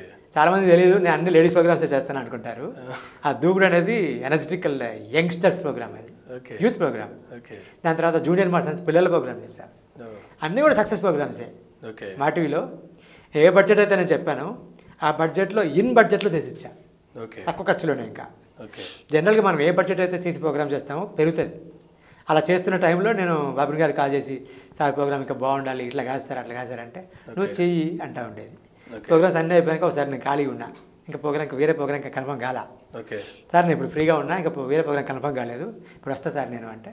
ఇప్పుడు మన ప్రోగ్రామ్ మన దగ్గర లేదు. శ్యామ్ గారు తీసుకుంటున్నారు. నువ్వు ఆయన ఫాలోఅప్ చెయ్యి నేను ఆయన చెప్తా ఫోన్ చేసి. మళ్ళీ మళ్ళీ శ్యామ్ ప్రసాద్. మళ్ళీ మళ్ళీ శ్యామ్ ప్రసాద్ రెడ్డి గారు. ఓకే. శ్యామ్ ప్రసాద్ రెడ్డి గారు చేస్తున్నారు. నెక్స్ట్ ఆయన టెకప్ చేస్తున్నారు. ఓకే. నువ్వు ఆయన ఫాలోఅప్ చెయ్యి నేను చెప్తాను ఒక మాట. వెళ్ళి కలవండి. నాకు నెంబర్ లేదు సరే అండి అని అంటే సరే నెంబర్ ఇచ్చారు. ఓకే. నెంబర్ తీసుకున్నా ఆయనకు కాల్ చేశా. ఓకే. శ్యాంప్రసాద్ రెడ్డి గారికి. అప్పటికే బాబు గారు చెప్పినట్టున్నారు. శ్యాంప్రసాద్ రెడ్డి గారు రండి నెక్స్ట్ డే మార్నింగ్ రండి అని నెక్స్ట్ డే మార్నింగ్ వెళ్తే అప్పటికే చెప్పారు. అందరినీ ఎంక్వైరీ చేసినా ఎవరిని ఎంక్వైరీ చేసినా మీ పేరే చెప్తున్నారు. స్టార్ మైల్ అంటే శ్రీధర్ రెడ్డి చేయాలి అని చెప్తున్నారు. ఓకే. నాకు చాలా మంచిగా అనిపించింది. సుమగారిని అడిగితే సుమగారు అదే అన్నారు కెమెరామన్లు అదే అన్నారు ఎడిటర్లు అదే అన్నారు ఎవరిని అడిగినా ఓకే. మాకు హండ్రెడ్కి హండ్రెడ్ పర్సెంట్ పాజిటివ్ రిపోర్ట్ వచ్చింది మీ మీద. ఓకే. సో మీరు చేస్తే బాగుంటుంది అని చెప్పేశారు. ఓకే. మళ్ళీ సెట్ ఏంటి కాన్సెప్ట్ ఏంటి? ఎట్- ఎట్లా మార్చాలి? స్టార్టింగ్ నుంచి మొదలైపోయింది మళ్ళీ? మళ్ళీ ప్రోగ్రామ్ స్టార్టింగ్ నుంచి మొదలైంది. ఎందుకంటే మళ్ళీ మనకి వెళ్ళిన దగ్గర నుంచి మళ్ళీ కొత్త సెట్ కొత్త కాన్సెప్ట్. నేను త్రీ వేరే వేరియేషన్లు ఇచ్చా. ఓకే. త్రీ వేరియేషన్ వేరియేషన్స్ రకరకాల రౌండ్స్ పెట్టి. ఈ మూడు రకాల ఏ రౌండ్ ఏ ఏ రకం కావాలో మీరు తీసుకోండి అని చెప్పించా okay. One two three options పెట్టా. ఓకే. ఓకే. దీప్తి గారు చాలా క్రియేటివ్ పర్సన్ ఓకే. చాలా పాజిటివ్గా ఉంటారు. ఆమె బాగా క్రియేటివ్గా ఆలోచిస్తారు. ఆ మూడు నచ్చాయి. సార్ నాకు ఈ మూడు నచ్చాయి సార్ ఈ మూడు బాగున్నాయి. మీరు చెప్పండి అంటే వన్ టూ త్రీ అని చెప్పా. ఇక వన్ టూ త్రీ అంటే వన్ తీసుకోవాల్సింది. అవును. ఓకే నెంబర్ వన్ ఆప్షన్ తీసుకుందామని చెప్పేసి. ఓకే. అట్లా తీసుకున్నాము. వాళ్ళకి అప్పుడే అర్థమైంది. ఓకే. ఈయన ఇన్ని ఆప్షన్లు ఇచ్చేసాడు మనకే ఆప్షన్లు ఇస్తున్నాడు కాన్సెప్ట్లు అనేసి. ప్లస్ హడావుడి చేయకుండా కూల్ గోయింగ్. గట్టిగా అరవడాలు క్రాట్ టాట్ టూ ఇవి ఉండవు. సరదాగా ఆడతా పడతా షూటింగ్ చేసుకుంటూ రోజుకు మూడు చేయమన్నారు. మూడు కాదు నాలుగు చేస్తా అని చెప్పా. ఓకే. మూడు ఎందుకు చేయాలి? నాలుగు చేస్తాం కదా. అవదేమో ఇబ్బంది అవుతుందేమో అంటే ఫస్ట్ షెడ్యూల్లో టూ డేస్ మాత్రమే ఫస్ట్ డే రెండే చేస్తాం. ఓకే. సెకండ్ డే మూడు చేస్తాం. ఆ నెక్స్ట్ నుంచి నాలుగు. ఓకే. అని చెప్పా. దానివల్ల ఛానల్కే మంచిది. మళ్ళీ మంచిది. బడ్జెట్ సేవ్ అవుతుంది. అవును. నాకేంటి? ప్రోగ్రామ్ మీద అనుకున్న బడ్జెట్ తక్కువ అవ్వాలంటే మనం చాలా ఫాస్ట్గా తక్కువ టైంలో చేసి ఇవ్వాలి. డౌట్ తక్కువ టైంలో చేస్తున్నారు చుట్టెత్తున్నాడా ఏంటి అని. ఎడిటింగ్లో చూసుకున్నారు అవుట్పుట్ చూస్తున్నారు బ్రహ్మాండంగా ఉంది. ఓ అంటే ఈయన ప్లానింగే అంత. ఆల్రెడీ చేసినాడు కదా. అనుకుంటే నా మీద నమ్మకం పెట్టి వదిలేశారు ప్రోగ్రామ్ వాళ్ళు. ఓకే. ఎక్కడ కూడా వేలు కాలు పెట్టడం ఏం చేయాల. ఓకే. ఆయన చేసుకుంటాలే అని చెప్పేసి అలా మూవ్ అయిపోయాం. నా మెంటాలిటీ కూడా అదే. ఆ తర్వాత ఎంతకాలం నడిచింది ఆ ప్రోగ్రామ్ మల్లెమాలతో కలిపి ఎంత ఎంతకాలం జర్నీ చేశారు? మల్లెమాలలో సిక్స్ ఇయర్స్ వేసా ప్రోగ్రామ్ ఓకే. మూడు వేలు ఇక అప్పటికి నాకు చాలా ఆఫర్స్ వస్తున్నాయి బయట నుంచి. మూవీస్ చేయమని లేదంటే సీరియల్స్ చేయమని స్టోరీస్ రాసి ఇవ్వమని ఇట్లా ఆఫర్స్ వస్తూ ఉన్నాయి. వేరే ప్రోగ్రామ్స్ పెద్ద పెద్ద ప్రైమ్ టైం ప్రోగ్రామ్స్ చేయమని మా టీవీ నుంచి అక్కడి నుంచి ఇక్కడి నుంచి. ఏవి చేయలేకపోతున్నా. ఓకే. ఎందుకనంటే ఇది డైలీ ప్రోగ్రాము. ఓకే. ఈ ఒక వీక్ ఉంటుంది ఒక వీక్లో ఫోర్ డేస్ ఉంటుంది మధ్యలో ఒక వీక్ గ్యాప్ వచ్చి మళ్ళీ వీక్లో మళ్ళీ ఫోర్ ఫైవ్ డేస్ ఉంటుంది. ఈ గ్యాప్లో నేను ఎక్కడికి పోవాలి? బయట ప్రోగ్రామ్ పెట్టుకున్నాం అనుకో ఈ- ఈ ప్రోగ్రామ్ డైలీ ప్రోగ్రాము ఎక్విప్మెంట్ విషయంలో కానీ సుమగా డేట్స్ విషయంలో కానీ ఇలాంటి ప్రాబ్లమ్స్ వచ్చినప్పుడు మనం డేట్స్ అడ్జస్ట్ చేసుకోలేము. సో ఒకటే ప్రోగ్రామ్ చేసుకుంటూ ఉండాల్సి వచ్చింది. ఓకే. అంతకుముందు త్రీ ఫోర్ ఇయర్స్ తర్వాత మళ్ళీ సిక్స్ ఇయర్స్ మొత్తం నేను కంప్లీట్గా ఒకటే ప్రోగ్రామ్ ఉండాలని నాకు వచ్చేసింది. మొన్నటిని వచ్చేసింది. ఓకే. మొన్నటిని వచ్చేసి నాకు నా వల్ల కావట్లేదు జయ ఇక అన్న ఫీలింగ్ వచ్చేసింది. ఓకే. అప్పటికి ఇంకా చాలు ప్రోగ్రామ్ ఆపేద్దాం మన కొద్దిగా. అన్న మూడ్లో ఉన్నాం. బయట పోయి ఏదో ఒకటి చేద్దాము. ఓకే. ఇది వద్దిగా. ఒకటే స్టార్ మైల్ ఒకటే ఉందా అన్న అన్న ఫీలింగ్ ఉండేటట్టుంది. అనుకున్నా ఆ ఫీలింగ్ వచ్చినప్పటికి ట్వంటీ సెవెన్ హండ్రెడ్ అయింది ఇంకొక మూడు వందలు చేస్తే మూడు వేలు వద్దు కదా. చేద్దాం వెళ్ళగల అని చెప్పేసి. ఇక మళ్ళీ మళ్ళీ కూడా చెప్పేసాను నేను వెళ్తాను. ఇక్కడ మూడు వేలు కంప్లీట్ అయిన తర్వాత లిమ్కా బుక్ ఆఫ్ రికార్డ్స్కి అప్లై చేశారా? మూడు వేలు అయిపోయిన తర్వాత వెళ్ళిపోదాం అనుకున్నా. ఓకే. మూడు వేలు అయిపోయిన తర్వాత వెళ్ళిపోదానని ముందు నుంచే వేరే ఒక టీం పెట్టుకోండి అని చెప్పాం. సార్ కూడా మీరు మీరు చెప్పండి మంచి టీం చెప్పండి ఏదంటే మేము పెడదాం. మీరు వెళ్తా అన్నప్పుడు వాళ్ళు ఆపే ప్రయత్నం చేయలేదు మరి? ఒక సక్సెస్ఫుల్ డైరెక్టర్తో సక్సెస్ఫుల్గా రన్ అవుతున్నటువంటి ప్రోగ్రామ్. ఇప్పుడు మళ్ళీ వేరే టీంని పెట్టుకుంటే ఇంత సక్సెస్ అవుతుందా లేదా అనేటువంటి డౌట్స్ వాళ్ళకే ఉంటాయి. సో మళ్ళీ వాళ్ళు మల్లెమాల డిపార్ట్మెంట్ వాళ్ళు ఆపే ప్రయత్నం ఏం చేయలేదు? ఉంటుంది వాళ్ళకి కూడా ఉంటుంది. కానీ ఇంకా నేను కొంచెం స్ట్రాంగ్గానే చెప్పా. వెళ్తానని. వాళ్ళకు కూడా ఏంటంటే సరే వెళ్ళండి. మన కొత్త వాళ్ళని కూడా పెట్టుకొని చూద్దాం చూద్దాం అనుకున్నారు. ఓకే. సరే పెట్టుకొని వెళ్ళి అనుకున్నాను నేను కూడా. నాకు అసలు ఉండాలని లేదు కదా. మీరు చేసి ఇచ్చిన షెడ్యూల్స్తోనే ఇంకా లాస్ట్ ఆపేశారు. అది తర్వాత కొంతకాలం మళ్ళీ రన్ అయింది ఇంకా రన్ అయింది. అంటే నేను బయటకు వచ్చిన తర్వాత సెట్ మార్చేశారు. ఓకే. సెట్ మార్చేసి కాన్సెప్ట్ అంతా మార్చేశారు. ఓకే. కాన్సెప్ట్ అంతా మార్చేసి వేరే డైరెక్టర్ పెట్టుకున్నారు. ఓకే. వేరే డైరెక్టర్ పెట్టుకుని షూటింగ్ చేసుకుని అని చేసుకున్నారు. సక్సెస్ కాలేదు. ఫస్ట్ ప్రభాకర్ టీంతో మహిళలు మహారాణులు చేశారు. తర్వాత ఈటీవీ టీంతో స్టార్ మహిళ చేసి తర్వాత అదే పేరు ఉన్నప్పటికీ ఈటీవీ టీము తర్వాత మల్లెమల్ల టీము వీళ్ళల్లో ఎవరు బాగా సపోర్ట్ చేశారు మీకు? ఆ అదృష్టం కొద్దీ అందరూ బాగా సపోర్ట్ చేశారు. ఓ ఇది నేను ఏదో దాన్ని ఏమంటారు? డిప్లొమాట్గా చెప్తున్నాను కాదు. ఓకే. నా అదృష్టం కొద్దీ అని అందుకే నేను. ఓకే. అన్నీ కూడా బాగున్నాయి. అంటే ఒక మేనేజ్మెంట్ మారుతూ ఉన్నప్పుడు ఆటోమేటిక్గా కొన్ని చేంజెస్ జరుగుతూ ఉంటాయి. మన థాట్స్ వాళ్ళకి నచ్చపోవచ్చు వాళ్ళు చెప్పే ప్రోగ్రామ్ కాన్సెప్ట్ మనకి నచ్చకపోవచ్చు. సో ఇటువంటి డిఫరెన్స్ ఎప్పుడు ఎవరితో రాలేదా? ఇక్కడ డిఫరెన్సెస్ రావడం కాదు కానీ డెసిషన్ మేకింగ్ గురించి చెప్తా. ఓకే. ప్రభాకర్ గారు ఉన్నప్పుడు డెసిషన్ మేకింగ్ ఫాస్ట్గా ఉండేది. తప్పన అయిపోయేది అంతే. ఓకే. అది ఈటీవీ మేనేజ్మెంట్కి వెళ్ళిన తర్వాత డెసిషన్ చెప్తే ఒక టూ డేస్ త్రీ డేస్ పట్టేది. ఓకే. మళ్ళీ మనకు వచ్చిన తర్వాత టెన్ డేస్ ఫిఫ్టీన్ డేస్ ఒకసారి వన్ మంత్లో పట్టేది. అక్కడ విషయంలో మాత్రం నాకు తేడా తెలిసింది. అంటే ఫైనల్గా ఏదైనా కాకపోతే ప్రభాకర్ గారి దగ్గర ఇమీడియట్గా Immediate. శాంక్షన్ అయిపోయేది. ఇక్కడ రెండు రోజులు డిలే అయినా ఇక్కడ ఫిఫ్టీన్ డేస్ ట్వంటీ డేస్ పెట్టినా కూడా ఫైనల్గా అయితే ఓకే. ఓకే. కానీ ఆ డెసిషన్ తీసుకోవడంలోనే గ్యాప్ వచ్చేది. డెసిషన్ మేకింగ్ అనేది డిలే అవుతూ ఉండేది. ఓకే. మల్లెమాల అనగానే అందరికీ గుర్తొచ్చేది జబర్దస్త్. సో జబర్దస్త్కి స్టార్ మహిళకి ఎప్పుడైనా కంపారిజన్ ఏమైనా ఉండింది అంటారా? అంటే అదే ప్రైమ్ టైంలో వచ్చేది ఈవినింగ్ కంపారిజన్ ఉండదు అసలు ఉండదు. ఎందుకంటే ఇది కంప్లీట్లీ నార్మల్ వాళ్ళు చూసే ప్రోగ్రామ్ చూసే మామూలు లేడీస్ తోటి చేసే ప్రోగ్రాము. మధ్యాహ్నం టైము అంటే పర్టికులర్గా ఒక ఒక ఆడియన్సే ఉంటారు దీనికి. జబర్దస్త్ అంటే ప్రైమ్ టైము దాంట్లో మొత్తం ఆర్టిస్టులు ఉంటారు. అన్ని రకాల ఆడియన్స్ ఉంటారు. కాబట్టి. రేటింగ్ దానికి ఉంటుంది. అది కమర్షియల్గా ఆ బిజినెస్ రేంజ్ వేరు ఈ బిజినెస్ రేంజ్ వేరు. ఇలా కంపేర్ చేయలేము దాని దీనికి. ఓకే. అంటే ఈ ఇన్ని ప్రోగ్రామ్స్ చేసిన దాంట్లో మీరు ఎక్కువగా సాటిస్ఫై అయిన ప్రోగ్రామ్ ఏమైనా ఉందా? సాటిస్ఫై అయిన ప్రోగ్రాము అంటే మహిళలు మారాలి. ఓకే. బాగా. దాని తర్వాత lady bus. Okay. Lady bus కూడా నాకు ఎవరు చెప్పిన వాళ్ళు లేరు. నీ ఇష్టం. ఓకే. రేటింగ్ తీసుకురా అని చెప్పడం స్టార్ మహిళ కూడా అంతే. ఒక్కొక్క ఎపిసోడ్కి ఒక సిక్స్ మెంబర్స్ని సెలెక్ట్ చేసుకోవాలంటే. అట్లా ఒక వన్ డేలో ఒక ట్వంటీ ఫోర్ మెంబర్స్ని పార్టిసిపేట్స్ని తెచ్చుకోవాలి. సో వీళ్ళందరినీ గ్యాదర్ చేయడంలో ఎలా చేసేవాళ్ళు? సెలక్షన్స్కి వెళ్ళేవాళ్ళం. సెలక్షన్స్కి వెళ్ళినప్పుడే వాళ్ళు ఎంత యాక్టివ్గా ఉన్నారు ఏంటి అనేది మనం చూసుకొని అక్కడే గ్రేడ్ వేసుకునేవాళ్ళం. ఓకే. సో ఏబీసీ ఉంటాయి. ఏ ప్లస్ అని కూడా ఉంటుంది. అంటే ఆల్మోస్ట్ వీళ్ళందరూ కూడా వేరు వేరు ప్రాంతాల నుంచి రావాలి. వేరే ప్రాంతాల నుంచి రావాలి. ఎవరికైనా వచ్చే ప్ర- ప్రయాణంలో ఏమన్నా అవ్వచ్చు. లేదా ట్రైన్ మిస్ అవ్వచ్చు లేదా వాళ్ళ కార్లో ఏమన్నా వస్తుంటే కార్కి ఏమన్నా పంచర్ పడిందా అలాంటిది ఏమన్నా ప్రాబ్లం అవ్వచ్చు. అందరూ ఆన్ టైంకి వచ్చే వాళ్ళ పార్టిసిపెంట్స్ కూడా. కొంతమంది మిస్ అయ్యేవాళ్ళు. ఆ మిస్ అయిన టైంలో ఏం చేస్తారు? ఎప్పుడో ఒకసారి మిస్ అయ్యేవాళ్ళు. మిస్ అయితే మేము ఏం చేసేవాళ్ళంటే ముందు చూపుగా కొంతమంది చెప్పించేవాళ్ళం దగ్గర వాళ్ళని. ఇప్పుడు కంపల్సరీ మనకి సిక్స్ మెంబర్స్ అయితే ఉండాలి పార్టిసిపెంట్స్. ఉండాలి. ఇప్పుడు ఒక ఇద్దరు మిస్ అయ్యారు అనుకోండి సడన్గా. ఆ ఇద్దరిని ఎలా మేనేజ్ చేస్తారు మళ్ళీ? ఈ అలా లోకల్ ఆ దగ్గరలో ఉంటారు కదా. ఓకే. కొంతమంది పెట్టుకొని ఉంచేవాళ్ళం. ఓకే వాళ్ళకి ముందుగానే ఇన్ఫర్మేషన్ ఇస్తారు. ఆహా అంటే మేము ఫోన్ చేస్తే మీరు రావాల్సి ఉంటుంది మీరు రెడీగా ఉండండి అని చెప్పి ఉండేవాళ్ళం ఎప్పుడు ఫోన్ చేసినా రెడీగా ఉండాలి. ఉండాలని. ఓకే. అయితే మనం పిలిచేవాళ్ళం కదా ఫస్ట్ ఎపిసోడ్లో ఆరుగురిలో ఒకరు మిస్ అయ్యారు అనుకుందాం. ఓకే. సెకండ్ ఎపిసోడ్లో ఆరుగురు ఉన్నారు కదా. ఒకరు వీక్లో పడేసేవాళ్ళం. ఓకే. ప్రస్తుతం నడవని ఓకే. సెకండ్ ఎపిసోడ్కి థర్డ్ ఎపిసోడ్ వీక్ పడేసేవాళ్ళం. ఓకే. థర్డ్ ఎపిసోడ్కి టైం ఉంది మనకి. మధ్యాహ్నం తర్వాత ఉంటాయి అవి. ఈ లోపు ఈ లోకల్లో ఉండాలి ఎవరో వాళ్ళు అందుకునేవాళ్ళు. ఎప్పుడు కాలు వస్తే పరిగెత్తుకుంటూ వెళ్దాం చూసిన చాలా మంది ఉంటారు ఇక్కడ. ఓకే. అమ్మాయిలు కానీ లేడీస్ కానీ. సో మధ్యాహ్నం ఒంటి గంట కల్లా మీరు రండి. అని చెప్తే మార్నింగే. మార్నింగ్ టెన్ ఓ క్లాక్ అని చెప్పేసినా కూడా. వాళ్ళు ఒంటి గంటకు రెండు గంటలకు వచ్చేవాళ్ళు. రావడం లేట్ అయితే ఫోర్త్ ఎపిసోడ్లో పడుకొచ్చి బాగా పడేసేవాళ్ళం. వీళ్ళని ఫోర్త్ ఎపిసోడ్ వేసేవాళ్ళం. ఇట్లా అడ్జస్ట్ చేసేవాళ్ళం. అలాంటి సందర్భాలు తక్కువ. ఓకే. రెగ్యులర్గా అలా అలాంటి ప్రాబ్లమ్స్ రావు. తక్కువ. ఒక్కోసారి ఒక పార్టిసిపెంట్తో ఇంకొక అమ్మాయి వచ్చేది. ఓకే. చూడడానికి బాగుండేది మంచి యాక్టివ్గా ఉండేది. బాగుంది కదా? మిస్ అయిన దాంట్లో ఆమె పెట్టేయండి అని పెట్టేసేవాళ్ళం. ఓకే. కంపల్సరీ నేను చూడాల్సిందే. నేను నేను ఫైనల్ చేయాల్సిందే. ఓకే. నేను చూసి నాకు మంచి అనిపిస్తే ఓకే ఎలిజిబుల్ అనిపిస్తే పెట్టేసేయండి రెడీ చేసేయండి Okay. On spot decision. Okay. ఆమెకు వెంటనే ఆమెకు సారీ అది అన్ని అరేంజ్ చేసేయడం మేకప్ వేయడం తీసుకొచ్చి పెట్టాడు ఓకే. అట్లా అట్లా అలా ఒక పార్టిసిపెంట్ కోసంతో పాటు సరదాగా వచ్చిన ఆమె అలా తీసుకొని పెట్టిండే ఆమె గెలిచిన సందర్భాలు కూడా ఉన్నాయి. ఓ. మేము ఇంత కష్టపడి సెలక్షన్స్కి వచ్చి ఇన్ని చేస్తే మేము గెలవలేదు. నువ్వు సరదా చూడడానికి వచ్చి అప్పటికప్పుడు ఎవరు రాకుండా నువ్వు వచ్చి ఎంటర్ అయ్యావు. నువ్వు గెలిచిపోయావు అని అంటుండేవాళ్ళు ఓకే ఆ లక్ అంతే. ఇప్పుడు ఎంతమందిని స్టార్ మహిళలు చేశారు కదా మీరు? మహిళలు మహారాణుల ప్రోగ్రాంలో కావచ్చు. ఆ ఫైనల్గా వాళ్ళ అంటే మీరు ఇచ్చే మొమెంటో తీసుకునేటప్పుడు నువ్వు స్టార్ మహిళ అయిపోయావు? లేకపోతే మహారాణి అయిపోయావు? అన్నప్పుడు వాళ్ళ ఫీలింగ్స్ ఎలా ఉంటాయి? వాళ్ళు వర్డ్స్ ఎక్స్ప్లెయిన్ చేయలేరు వాళ్ళు. ఓకే ఎట్లా అంటే చెప్పాలని ట్రై చేసేవాళ్ళు. ఓకే. ఎలా చెప్పాలి అర్థం చేసేది. అర్థమయ్యేది వాళ్ళకి. అంటే అంత ఆనందం ఉండేది వాళ్ళకి. అంటే తర్వాత మళ్ళీ మీకు ఫోన్ చేసి థ్యాంక్స్ చెప్పడం కావచ్చు లేకపోతే మాకు మంచి అవకాశం ఇచ్చారు ఇలాంటి ఫోన్స్ వస్తుంటాయి ఇప్పుడు? ఫోన్స్ అంటే మనకు ఒక ఫోన్ ఇచ్చేవాళ్ళం మనకు ఒక ఒక నెంబర్ ఇచ్చేవాళ్ళం. ఫీడ్బ్యాక్ కోసం దాన్ని ఆన్లో ఉంచేవాళ్ళం. ఓకే. ఎవరైనా చెప్తే మనం రాసుకోవడానికి.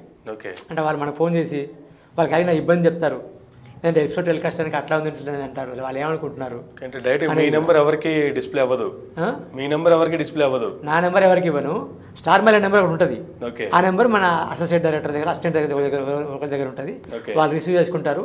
నాకు చెప్పాల్సిన మ్యాటర్ అయితే వచ్చి నాకు చెప్తారు. ఓకే. జనరల్ మ్యాటర్ అయితే వాళ్ళే ఆన్సర్ చెప్పి వదిలేస్తారు. ఓకే. సో అట్లా ఎవరైనా అంటే బాగా ఎగ్జైట్ అయిపోయి ఇన్ని ప్రోగ్రామ్ చేశారు కదా ఈ ప్రోగ్రామ్స్లో ఎక్కడైనా ఎవరైనా ఓవర్గా ఎగ్జైట్ అయిపోయి వచ్చిన మహిళలు ఎవరైనా ఉన్నారు? ఉంది. అది మహిళలు మహారాణి అనే ప్రోగ్రాంలో అన్నపూర్ణ స్టూడియోస్లో సెవెన్ ఎకర్స్లో మనం పెట్టాం. పెట్టినప్పుడు ఆ షూటింగ్ నడుస్తూ ఉంటే ఎవరు గెలుస్తారు అనేది టఫ్ ఉంది. ఓకే. అసలు చాలా టఫ్గా ఉంది. ఒక అమ్మాయి వాళ్ళ ఫాదర్ అందులో ఉన్నాడు. ఆ అమ్మాయి గెలిచింది. ఆమె ఫాదర్కి హార్ట్ అటాక్ లాగా వచ్చింది. ఆనందమా లేదంటే ఆనందం. గెలుస్తుందో గెలవదో టెన్షనా? గెలిచిన తర్వాత అసలు ఆనందం తట్టుకోలేక పడిపోయాడు. అప్పటికప్పుడు మన ప్రొడక్షన్ వెహికల్లో తీసుకెళ్ళి అమాంతం తీసుకెళ్ళి హాస్పిటల్లో జాయిన్ చేసి ఓ రెండు మూడు రోజులు ఆయన హాస్పిటల్లో ఉంటే కనుక్కొని ఏమైనా అయిందా ఏంటి అని కనుక్కొని ఆ సందర్భం ఉంది. ఓకే. అదొకటి జరిగింది. తర్వాత ఒక ఆమె చాలా యాక్టివ్గా ఉంది.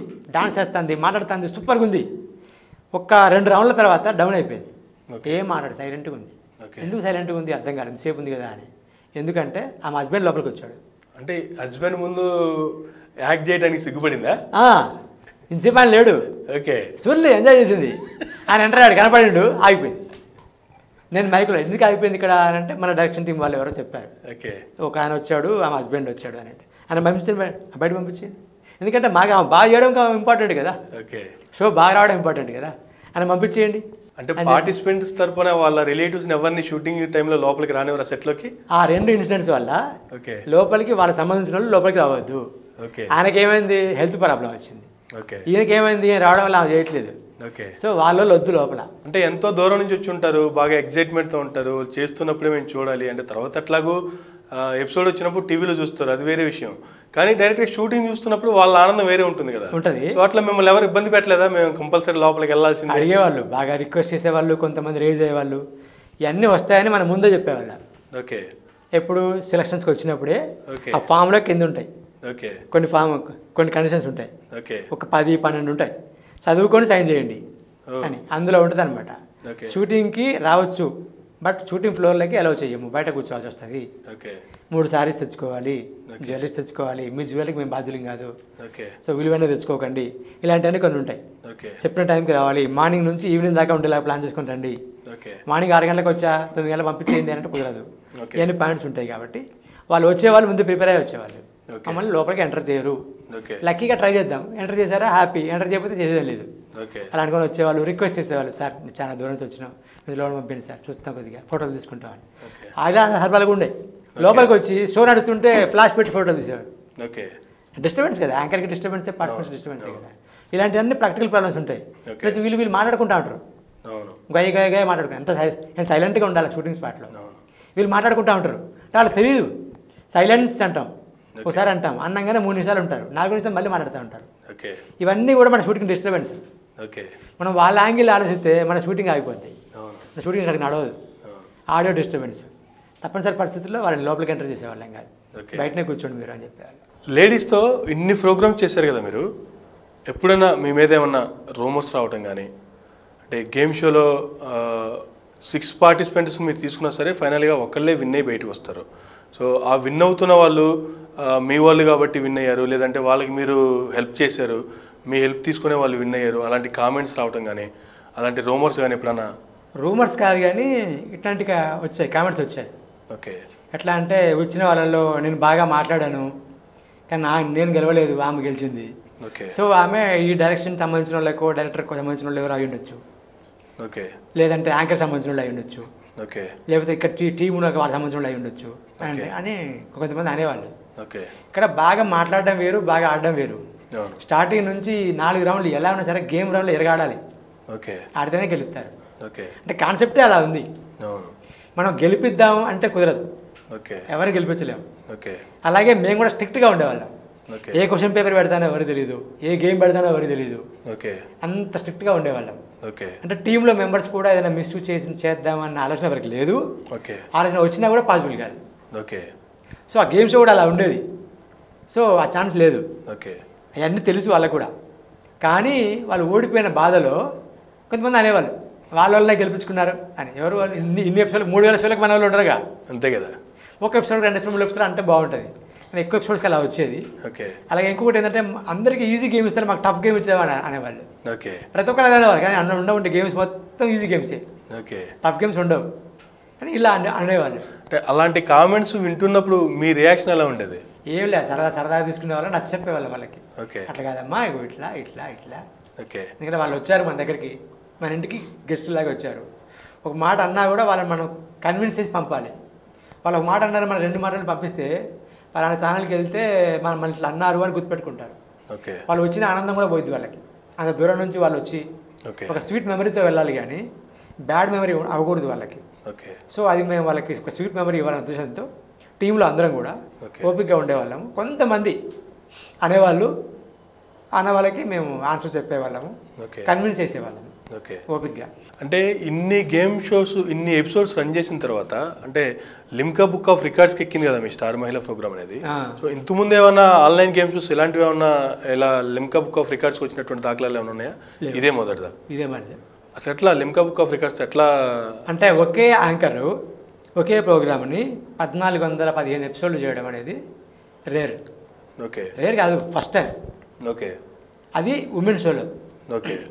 సో అందుకోసం ఆ పద్నాలుగు వందల పదిహేనుకే ఇచ్చారు. యాక్చువల్గా మూడు వేలు అయింది కానీ. ఓకే. పద్నాలుగు వందల పదిహేను అప్పుడే లిమ్కా బుక్ కానీ దాన్ని డబల్ చేశారు తర్వాత. సో ఇంకా వేరే రికార్డ్స్ ఏమైనా ఇలాంటి మీ షోల్లో ఏమన్నా ఇంకా కొన్నాళ్ళు ఇంకొక ఫైవ్ సిక్స్ ఇయర్స్ చేస్తే గిన్నెస్ వస్తుంది.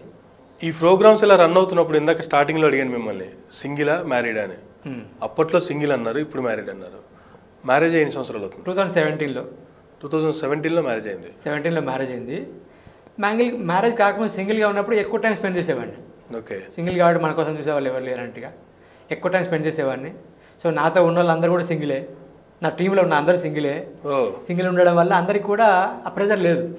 ఓకే. అంటే ప్రెజర్ అంటే ఇంటికి వెళ్ళాలి పిల్లల్ని చూసుకోవాలి ఫ్యామిలీ చూసుకోవాలి ఈ ప్రెజర్స్ ఉండవు కదా. కాన్సన్ట్రేషన్ అంతా ప్రోగ్రామ్ మీద పడడం ఓకే. అదొక ప్లస్ పాయింట్ అంది ప్రోగ్రామ్కి ఓకే. అంటే డెడికేషన్ ఎక్కువైంది కదా. అంటే ఆఫ్టర్ మ్యారేజ్ ఎలా చేశారు? అంటే ఫ్యామిలీకి ఆఫ్టర్ మ్యారేజ్ అంటే ప్రోగ్రామ్కి టూ థౌజండ్ సెవెంటీన్ వచ్చేసరికి ఏమైందంటే టీం అంతా అలవాటు పడ్డారు. ఓకే. వర్క్కి అలవాటు పడ్డారు. ఓకే. నేనే స్వయంగా కూర్చొని చేసే పని ఉండదు. చేయించుకోవడం నేను. ఓకే. ఆ స్టేజ్కి వచ్చేసా. ఓకే. సో నేను రావడం ఆఫీస్కి వెళ్ళడం మార్నింగ్ నుంచి నైట్ దాకా ఉండాల్సిన అవసరం లేదు. ఏదో ఒక టైంలో వెళ్ళిపోవడము. సో ఫ్యామిలీకి ఎక్కువ టైం స్పెండ్ చేయగలిగా. ఓకే. షూటింగ్ అప్పుడు మాత్రం మార్నింగ్ సిక్స్ సెవెన్కి వెళ్ళిపోయానంటే ఈవినింగ్ సిక్స్ సెవెన్ దాకా ఉండగలిగేవాడిని. ఓకే. మిగతా డేస్లో మాత్రం ఒక్కోసారి అసలు వెళ్ళే వెళ్ళేవాని కాదు. ఓకే. అవసరం ఉండేది కాదు. ఒకసారి వెళ్తే ఏ లెవెన్కో అట్లా వెళ్ళి మళ్ళీ ఈవినింగ్ ఎర్లీగా రావడం అట్లా ఉండేది. ఏది? నేను చెప్పేది అంతా కూడా ఆఫ్టర్ మ్యారేజ్ ఎలా ఉంది అనేది. ఓకే. బిఫోర్ మ్యారేజ్ మాత్రం మార్నింగ్ ఎయిట్ ఎయిట్ ఫిఫ్టీన్ కల్లా ఆఫీస్లో ఉండేది. ఈవినింగ్ ఎయిట్ నైన్ టెన్ కూడా అయ్యేది. అల్లెమాల్లో కూడా. ఓకే. అంత టైం స్పెండ్ చేసేవాడిని. ఓకే. అట్లా ఉండేది. మ్యారేజ్ టైంకి వచ్చేసరికి అంత సెట్ అయిపోయింది. సో అలాగే నేను చేసుకున్న అమ్మాయి పేరు శ్రీనిధి. ఆమె కూడా మంచి రైటర్ కావడం వల్ల. ఆమె కూడా కొంత స్క్రిప్ట్ రాసేది. ఓకే. సో నేను రాసిన స్క్రిప్ట్కి ఆమె కూడా రాయడం వల్ల హెల్ప్ అయ్యేది. అంటే ఇప్పుడు ఇంకా వర్క్ ఇంకా ఫాస్ట్గా నడిచిందా? వర్క్ ఫాస్ట్ అయ్యేది. ఓ. సో ఆ తర్వాత మ్యారేజ్ అయినా కూడా ఆమె కూడా ఆమె ఆర్జే ఓకే. సో ఆమె కూడా వర్క్లో హెల్ప్ చేసేది. ఓకే. సో ఆ విధంగా నాకు కొంచెం అది ప్లస్ అయ్యింది ఆమె కూడా. అంటే ఇప్పుడు మీ టీం అంతా మ్యారేజ్ కాకు మ్యారేజ్ అవ్వలేకపోవడం వల్ల మ్యారేజ్ కాని వల్లే ఉండటం వల్ల మంచి టీం మీదే ఫోకస్ పెట్టామన్నారు. ఓ యాంకర్ విషయంలో మీకు ఎలా ఉండేది? ఆమె టైంకి టైం టు టైం పార్టిసిపేట్ చేయటం కావచ్చు? Yes exactly time to time she married morning nine o'clock రావాలి అని అంటే ఆమె క్వార్టర్ టు నైన్కి విత్ మేకప్ రెడీగా ఉండేది. కాల్ చేసింది నేను రెడీ అని చెప్పేది. ఓకే ఈ ఎపిసోడ్ అయిపోయి నెక్స్ట్ ఎపిసోడ్ రావడానికి కూడా ఫార్టీ మినిట్స్లో మనం స్టార్ట్ చేద్దామా? అంటే ఎస్ అనేది థర్టీ ఫైవ్ మినిట్స్లో రెడీ ఉండేది. ఓకే. టైమింగ్స్ విషయంలో అసలు ఆ తర్వాతనే అందరేమో అనిపిస్తుంది. ఓకే. ఝాన్సీ గారు కూడా. టైం అంటే టైమే ఓకే. ఒకసారి టెన్ మినిట్స్ లేట్ అయితే టెన్ టైమ్స్ సారీ చెప్పారు. ఓకే. ఆమె. ఇది మా టీవీలో కనకావసం ప్రోగ్రామ్ చేస్తున్నప్పుడు. ఓకే. అంత డెడికేటెడ్గా ఉండేది. సో సుమ గారు అంత డెడికేటెడ్ ఓకే. టైం అంటే టైమే అలా ఉండేది. మధ్యలో కొన్ని కారణాల వల్ల ప్రోగ్రామ్ ఆగిపోయినప్పటికీ ఇప్పుడు మళ్ళీ రీసెంట్గా స్టార్ట్ అవుతుంది అనేటువంటి వార్తలు వస్తున్నాయి. ఆ వార్తలు ఏమైనా నిజముందంటారా? నిజమే. స్టార్ట్ అవుతుంది. స్టార్ట్ అవడం వల్ల చాలా హ్యాపీగా ఉంది. మధ్య మధ్యలో నేను ఎన్నోసార్లు దీప్తి మేడం తోటి శ్యామ్ గారితో. సార్ స్టార్ట్ చేస్తే బాగుంటుంది స్టార్ మహిళ. వేరే వేరే ప్రోగ్రామ్స్ కాదు. స్టార్ మహిళ స్టార్ట్ చేయండి. కొంచెం గ్యాప్ వచ్చింది కదా ఓకే. అని చెప్పి అంటా ఉండేవాడిని. వాళ్ళు కూడా చాలా పాజిటివ్గా తీసుకున్నారు. ఓకే. తీసుకొని చేద్దాం చేద్దాం. టైం టైం రానికి చేద్దాం. అయితే ఇప్పటివరకు కొన్ని గత కొన్ని సంవత్సరాలుగా మీ డైరెక్షన్ డిపార్ట్మెంట్ అంతా స్ట్రాంగ్గా ఉండటం వల్లే ఇన్ని ప్రోగ్రామ్స్ ఇలా సక్సెస్ఫుల్గా రన్ చేసామని చెప్పారు కదా. సో ఈ డైరెక్షన్ డిపార్ట్మెంట్లో ఇప్పటివరకు మీరు ఎంతమందిని అసిస్టెంట్ డైరెక్టర్గా కావచ్చు అసోసియేట్ డైరెక్టర్ కావచ్చు ఇప్పుడు టోటల్గా ప్రోగ్రామ్ పరిచయం చేశారు? ప్రోగ్రామ్ అంత స్ట్రాంగ్గా ఉండడానికి డైరెక్షన్ డిపార్ట్మెంట్తో పాటు యాంకర్ ప్లస్ ఆ టెక్నికల్ టీమ్. కొంతమంది ఉన్నారు అందరూ కూడా మంచి వాళ్ళు పాడడం అనేది అదృష్టం.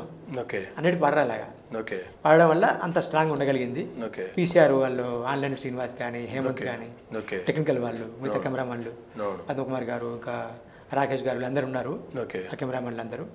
వాళ్ళతో పాటు ఈ అన్ని కెనరేస్ సాయి సాంబా ఇలాంటి టెక్నికల్ టీం అంతా కూడా మంచి టీం పడింది.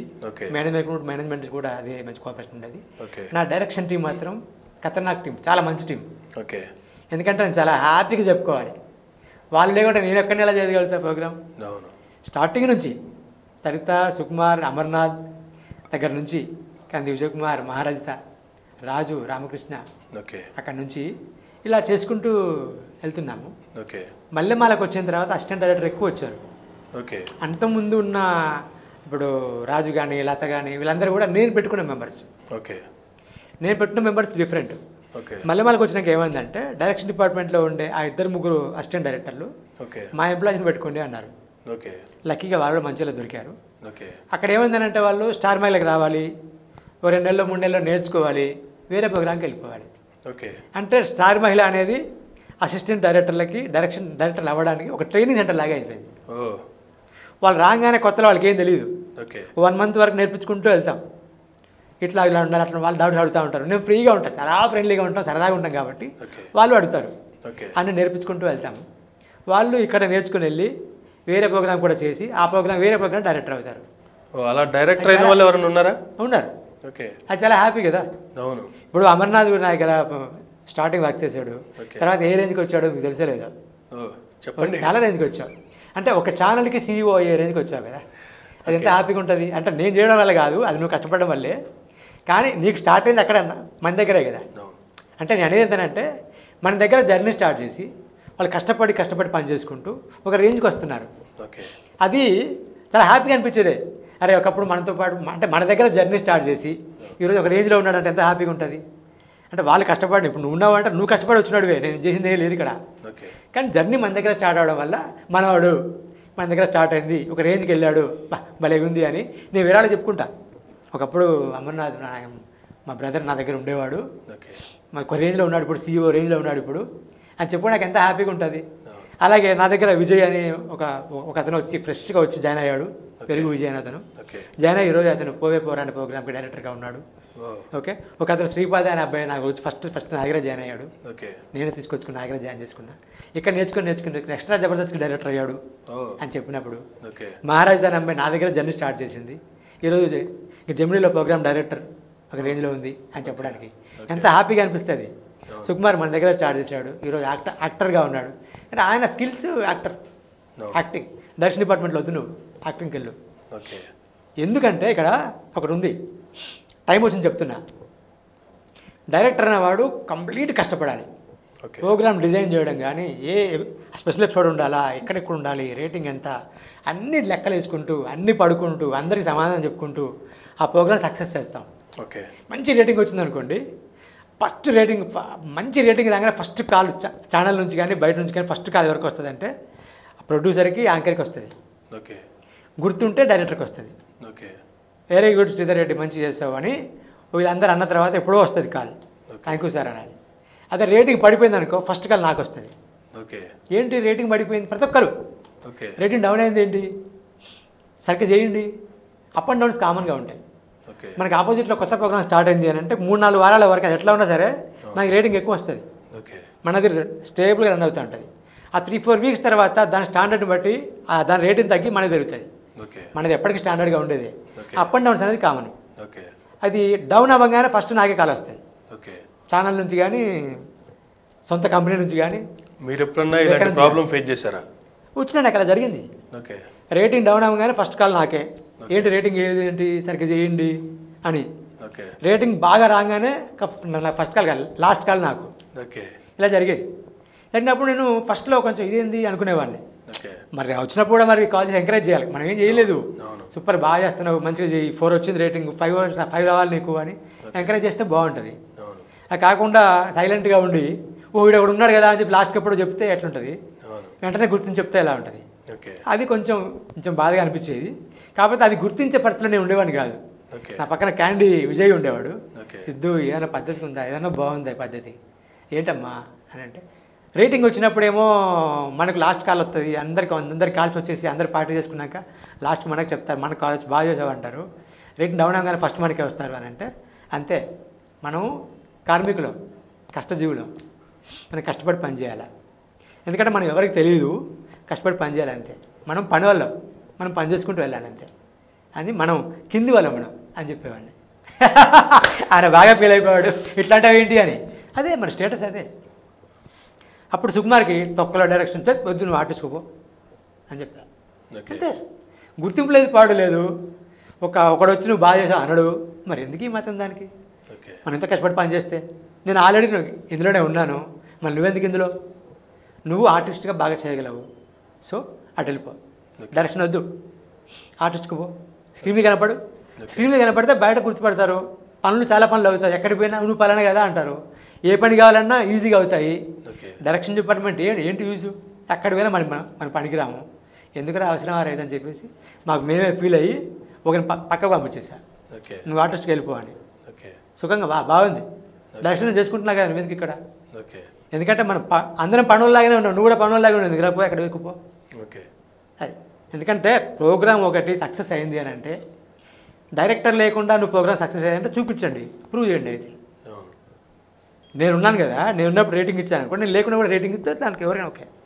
కాన్సెప్ట్ లేకుండా మంచి యాంకర్ లేకుండా మంచి డైరెక్టర్ లేకుండా ప్రోగ్రామ్ సక్సెస్ కాదని అందుకేనా నేను. ఓకే. ఒక్క కాన్సెప్ట్ బాగుంది యాంకర్ డైరెక్టర్ లేకపోయినా పర్లేదు అనుకోవడానికి లేదు. ఓకే. కాన్సెప్ట్ బాగుంది యాంకర్ మంచి యాంకర్ ఉన్నారు డైరెక్టర్ ఎవరన్నా పర్లేదు అనుకుంటే దెబ్బతింటుంది. ఓకే. అది ప్రూవ్ అయింది ఆల్రెడీ. లేదు డైరెక్టర్ బాగున్నారు కాన్సెప్ట్ బాగుంది యాంకర్ ఎవరైనా పర్లేదు అనుకుంటే ఇప్పుడు ఫీల్ అవుతుంది. ఈ మూడు కలవాలా? ఈ మూడు కలిస్తేనే ప్రోగ్రామ్ సక్సెస్ అయింది అది గుర్తుపెట్టుకోవాలా? అది అది గుర్తించాలా? ఇటీ అది మన ఛానల్ మేనేజ్మెంట్ అయినా ప్రొడ్యూసర్ అయినా ఎవరైనా సరే ఎవరికి ఇచ్చే వాళ్ళు వాళ్ళకి ఇచ్చుకుంటూ వాళ్ళు ఏం పని చేసినా గుర్తించగలిగితే ఆ ప్రోగ్రామ్ వాల్యూ తెలుస్తుంది ఓకే లేకపోతే బడ్జెట్లు పెరుగుతాయి రేట్లు పడిపోతాయి. ఓకే కామన్ అది. శ్రీధర్ రెడ్డి గారు ఒకవేళ డైరెక్షన్ డిపార్ట్మెంట్కి రాకుండా ఉంటే అసలు లైఫ్లో ఏం అవ్వాలనుకుని ఇలా అయ్యారు. ఎప్పుడన్నా అంటే నా లైఫ్ ఇది కాదు నాకు వేరే అంబిషన్స్ ఉన్నాయి నేను పలానా అవుదాం అనుకొని చిన్నప్పటి నుంచి మనకు ఒక కోరిక ఉంటుంది. సో నేను ఏదో అవ్వాలనుకుని ఇది అయ్యారా? లేదంటే దీని మీద కోరికతోనే ఇలా మీడియా వైపు వచ్చేసారా? యాక్చువల్లీ చిన్నప్పుడు సరదాగా మామూలుగా ఆడతారు ఏమవుతావు పెద్దగానే కానీ. మా పెద్దబాబాయ్ ఇంజనీర్ కాబట్టి నేను ఇంజనీర్ అవుతా అని చెప్పేవాడిని. ఓకే. అది అయిపోయింది. అది ఎప్పుడు నైన్త్ వరకు. ఓకే. టెన్త్కి వచ్చిన తర్వాత మా అన్నగారు ఉన్నారు బాసెట్టి రాములు అని మణుగూరులో ఉంటాడు. ఓకే. ఆయన ఉండి నువ్వు చాలా బాగున్నారా నువ్వు ఆర్టిస్ట్ అవ్వాలి అని అంటాడు. ఓకే. అది అప్పటిదాకా నాకు ఆర్టిస్ట్ అంటే తెలియదు జ్యోచిత్ర సీతారా దాంట్లో ఆర్టిస్టులు కావాలి నువ్వు అని ఉంటాయి. ఓకే. అవి పట్టుకొచ్చి నాకు ఇచ్చేవాడు. అప్లై చెయ్యి ఫోటో పంపు అని. ఎందుకన్నా మనకి ఇవన్నీ అని అంటే లేదు చెయ్యి పంపు అని అంటాడు. ఆయన ఎంబడిపడి వెంటబడి ఆ ఫీల్ తెప్పించాడు నాకు. ఓకే. సరే నేను అక్కడ ఇంటర్మీడియట్ వరకు అక్కడ ఉన్నా మణుగుల్లో డిగ్రీకి వరంగల్కి వచ్చా. డిగ్రీ చేస్తున్నప్పుడు మా క్లాస్మేట్ ఒకడు వాళ్ళ ఫాదర్ టెలిఫిలిం చేస్తున్నాడు హైదరాబాద్లో కృష్ణనగర్లో. ఓకే. సో ఆయన ఉంటే నువ్వు ఆర్టిస్ట్ చేయొచ్చు కదా అని అన్నాడు. ఇవ్వబట్టినట్టు ఇది మా అన్న అక్కడ అన్నాడు ఇవ్వబట్టినాడు ఏంది అనుకుని మనకి ఎవరిస్తారు? అబ్బా మన వరంగల్లో కూర్చున్నాం హైదరాబాద్ అంటే నేను చెప్తా మా ఫాదర్ చేస్తున్నాడు అని చెప్పేసి ఓకే. రమ్మని చెప్పి తీసుకెళ్ళి రమ్మని చెప్పాడు. ఓకే. వచ్చా కృష్ణనగర్కి. ఓకే. వచ్చి ఒక టెలిఫిలింలో యాక్టింగ్ చేశా. ఓకే. అప్పటి నుంచి నేను ఆర్టిస్ట్ కావాలి అనుకున్నా. ఓకే. కొన్ని కారణాల వల్ల ఊళ్ళో కొన్ని సంఘటనల వల్ల మా నాన్నకి యాక్సిడెంట్ అవ్వడం వల్ల వ్యవసాయం చేసే వాళ్ళు ఎవరు లేకపోతే ఈ యాక్టింగ్ మానేసి అంటే మంచి ఫామ్లోకి వస్తున్నా. ఓకే. యాక్టింగ్ మానేసి ఊరికి వెళ్ళిపోయా okay. One and half year అక్కడే ఉండి వ్యవసాయం చేశాను. ఓకే. వ్యవసాయం చేసి మళ్ళీ ఓకే అంత సెట్ అయిపోయింది అనుకుని మళ్ళీ బయటకు వచ్చా ఓకే. మళ్ళీ స్టడీస్ నడుస్తూనే ఉంది డిగ్రీ స్టడీస్ నడుస్తూనే ఉంది వ్యవసాయం చేసుకున్నాను అంతా ఈ స్ట- ఈ స్టడీస్ నడుస్తూనే ఉన్నాయి నేను ఆర్టిస్ట్ చేస్తూనే ఉన్నా స్టడీ నడుస్తూనే ఉంది వ్యవసాయం చేసుకుంటూనే ఉన్నా స్టడీస్ నడుస్తూనే ఉంది హైదరాబాద్కి వచ్చేసా. హైదరాబాద్కి వచ్చాక ఈసారి ఆర్టిస్ట్గా వెళ్ళాలంటే ఆ కాంటాక్ట్స్ లేవు ఎవరిని కలవాలో ఏంటో అది తెలియదు అప్పుడు రచన జర్నలిజం కాలేజీలో జర్నలిజం కోర్స్ చేశా. ఓకే. జర్నలిజంలో మాకు ఒక అద్భుతమైన గురువు దొరికారు. గోవిందరావు చక్రధర్ గారు. ఓకే. సో ఆయన సమక్షంలో ఆయన పర్సనాలిటీ డెవలప్మెంట్ చెప్పడం ఎలా మూవ్ అవ్వాలి ఏంటి చెప్పడము. తర్వాత సార్ నాకు జాబ్ కావాలి అని అంటే అప్పటికే ఆయన అతను లక్కీగా నేను పోయి జాబ్ అడగడం అప్పుడు ఆంధ్రప్రదేశ్ నుంచి కాల్ రావడం మంచి కూర చాక్లెట్ కూరలు పంపించు అంటే ఉన్నాడు ఇక్కడే ఉన్నాడు చెప్పి నన్ను పంపించడం. అలా నేను ఆంధ్రజ్యోతికి వెళ్తే చిన్న ఇంటర్వ్యూ నన్ను తీసుకున్నారు. అలా ఆంధ్రజ్యోతికి. ఓకే. ఇందాక చెప్పానుగా ఆంధ్రజ్యోతి టు మా టీవీ అన్ని. జర్నీ అట్లా స్టార్ట్ అయింది. అంటే ఇప్పుడు మీరు ఒక సక్సెస్ఫుల్ డైరెక్టర్గా ఉన్నారు.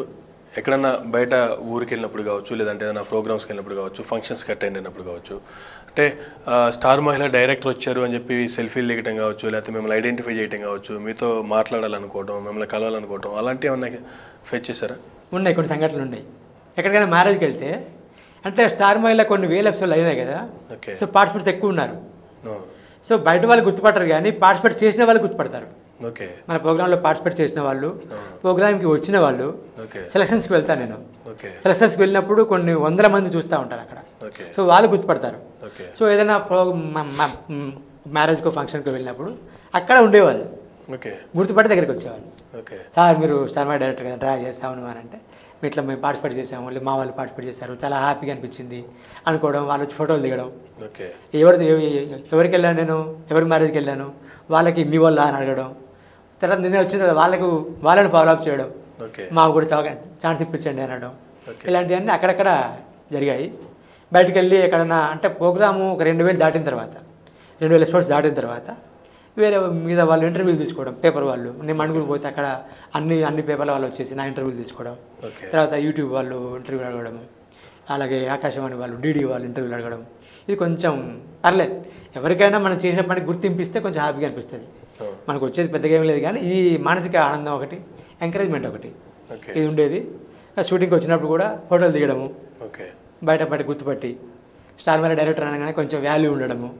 ఏదైనా హాస్పిటల్కి వెళ్ళి స్టార్ మేళ డైరెక్టర్ మా ఫ్రెండ్ అండి మాకు కొంచెం కన్సెషన్ ఇవ్వండి అని అంటే ఇవ్వడము. వాళ్ళకి ఇస్తున్నారంట నదలదు. వాళ్ళు చెప్తారు. ఓకే. నేను నేను ఎక్కడ వాడుకోవాలని ఎక్కడ పోయి చెప్పుకోలేదు నా పేరు నేను పలానా ఎక్కడ చెప్పుకోలేదు. వేరే వాళ్ళు చెప్పుకొని పలానా మా ఫ్రెండ్ అని బంధువు అని చెప్పుకొని అది జరిగినాయని చెప్పినప్పుడు ఆనందం వేసేది. ఓకే. ఓకే. అంటే ఇప్పటి వరకు మీ ఫోకస్ అంతా ఎక్కువ మహిళల మీదే ప్రోగ్రామ్ చేశారు. సో ఫ్యూచర్లో ఎలా ఉండబోతున్నాయి? అంటే దీని నుంచి డీవీటీ వేరే ప్రోగ్రామ్ చేసే ఆలోచనలు కానీ లేదంటే ఫ్యూచర్ కూడా ఇలాగే మహిళల ప్రోగ్రామ్తోనే కంటిన్యూ చేసే ఆలోచన ఏమైనా ఉందా? మహిళల ప్రోగ్రామ్ మీద నేను ఫోకస్ చేయడం అంటే నాకు వచ్చిన అవకాశం అలాంటిది. ఓకే? కానీ నాకు musical programs dance programs youth programs. చేయాలని ఎక్కువ ఇంట్రెస్ట్. ఓకే. ఇంకా నా టేస్ట్ అలాంటిది యాక్చువల్లీ. ఓకే. నా టేస్ట్ పరంగా చూసుకుంటే నేను డాన్స్ ప్రోగ్రామ్స్కి మ్యూజికల్ ప్రోగ్రామ్స్కి ఎక్కువ ఎక్కువ పనికొస్తా అని నేను అనుకుంటా. ఓకే. కానీ నేను ఉమెన్ ప్రోగ్రామ్స్ చేసుకుంటూ ప్రూవ్ చేసుకున్నా. ఓకే. పనికొస్తా నేను అనుకుంటా చెప్పడానికి లేదు ఇంకా ఉమెన్ ప్రోగ్రామ్కి. ఇక్కడ ఆల్రెడీ వెల్ ప్రూవ్డ్. ఓకే. వీటికి మాత్రం నేను ఎక్కువ పనికొస్తాను నా టేస్ట్ అలాంటిది. ఇలా కాకుండా ఇలా చేస్తే బాగుండేది ఇలా కాకుండా ఇలా చేస్తే బాగుండేది అని డిఫరెంట్ డిఫరెంట్ థాట్స్ ఉన్నాయి. Musical and dances. ఓకే. వాటితో పాటు యూత్ ప్రోగ్రామ్స్. ఓకే. యూత్ యూత్ఫుల్గా ఉండే రియాలిటీ షోస్. నాకు బాగా ఇష్టం అవి. అవి బాగా చేయాలని ఇంట్రెస్ట్ ఉంది. కాకపోతే నాకు వచ్చిన ఆఫర్స్ కొన్ని కొన్ని వచ్చినట్టే వచ్చి వెనక్కిపోవడం ఓకే. మంచి మంచి అవకాశాలు కూడా. జగపతి బాబుని యాంకర్గా పెట్టుకొని చేద్దాం అనుకున్నాము.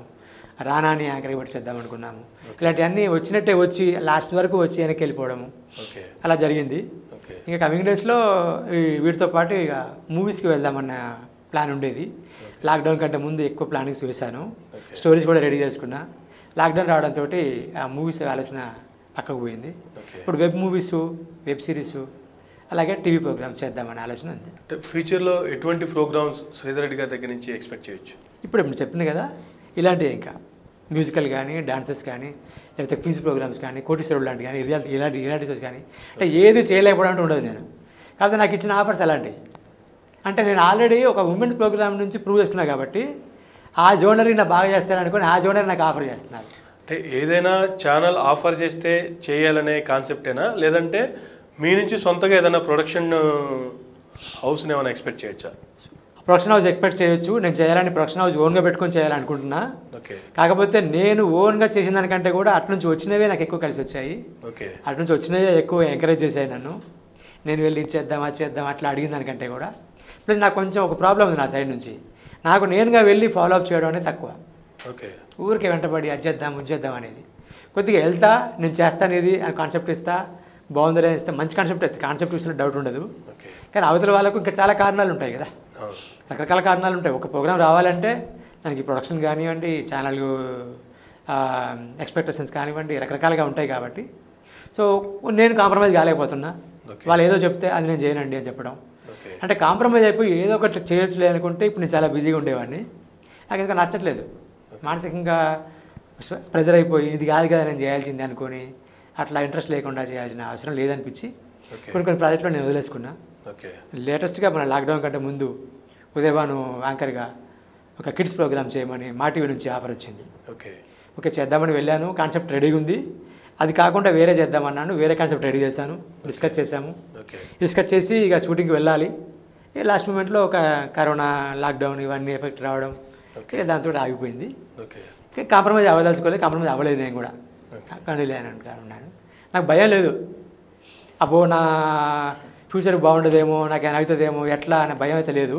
ఓకే. ఇవాళ కాకపోతే రేపైనా ఖచ్చి ఖచ్చితంగా మళ్ళీ పెద్ద ప్రాజెక్ట్ కొడతానని అనుకుంటున్నా.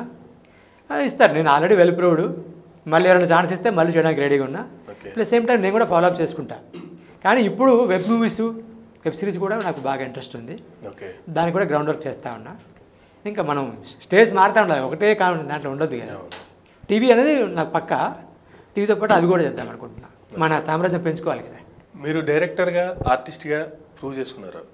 ఇప్పుడు రీసెంట్గా మీకు టూ థౌజండ్ సెవెంటీన్లో మ్యారేజ్ అయిందని చెప్పారు. సో ఇప్పుడు మీ బాబు కూడా ఆర్టిస్ట్గా ఎదుగుతున్నాడని విన్నాము. అంటే నిజంగానే చేశారా?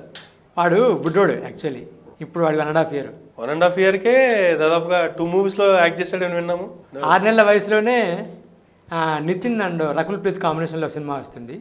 ఓకే. అందులో దానికి పేరు టైటిల్ అనౌన్స్ చేయలేదు. ఓకే. అందులో చేశాడు. అందులో సుమారు ఒక నైన్ డేస్ వాడి క్యారెక్టర్ ఉంది. ఓకే.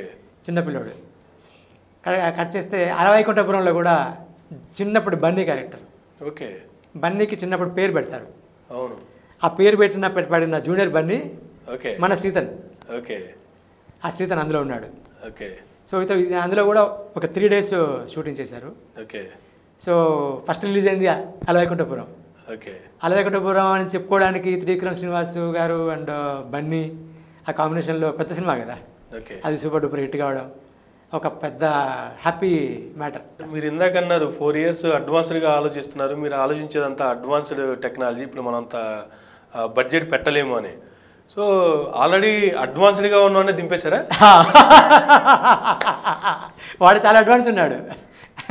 ఇక్కడ మనం ఎన్నో ఏజ్ తర్వాత ఎప్పుడో రావాల్సింది వాడికి ఆరు నెలల వయసులోనే ఆఫర్స్ వచ్చేసి.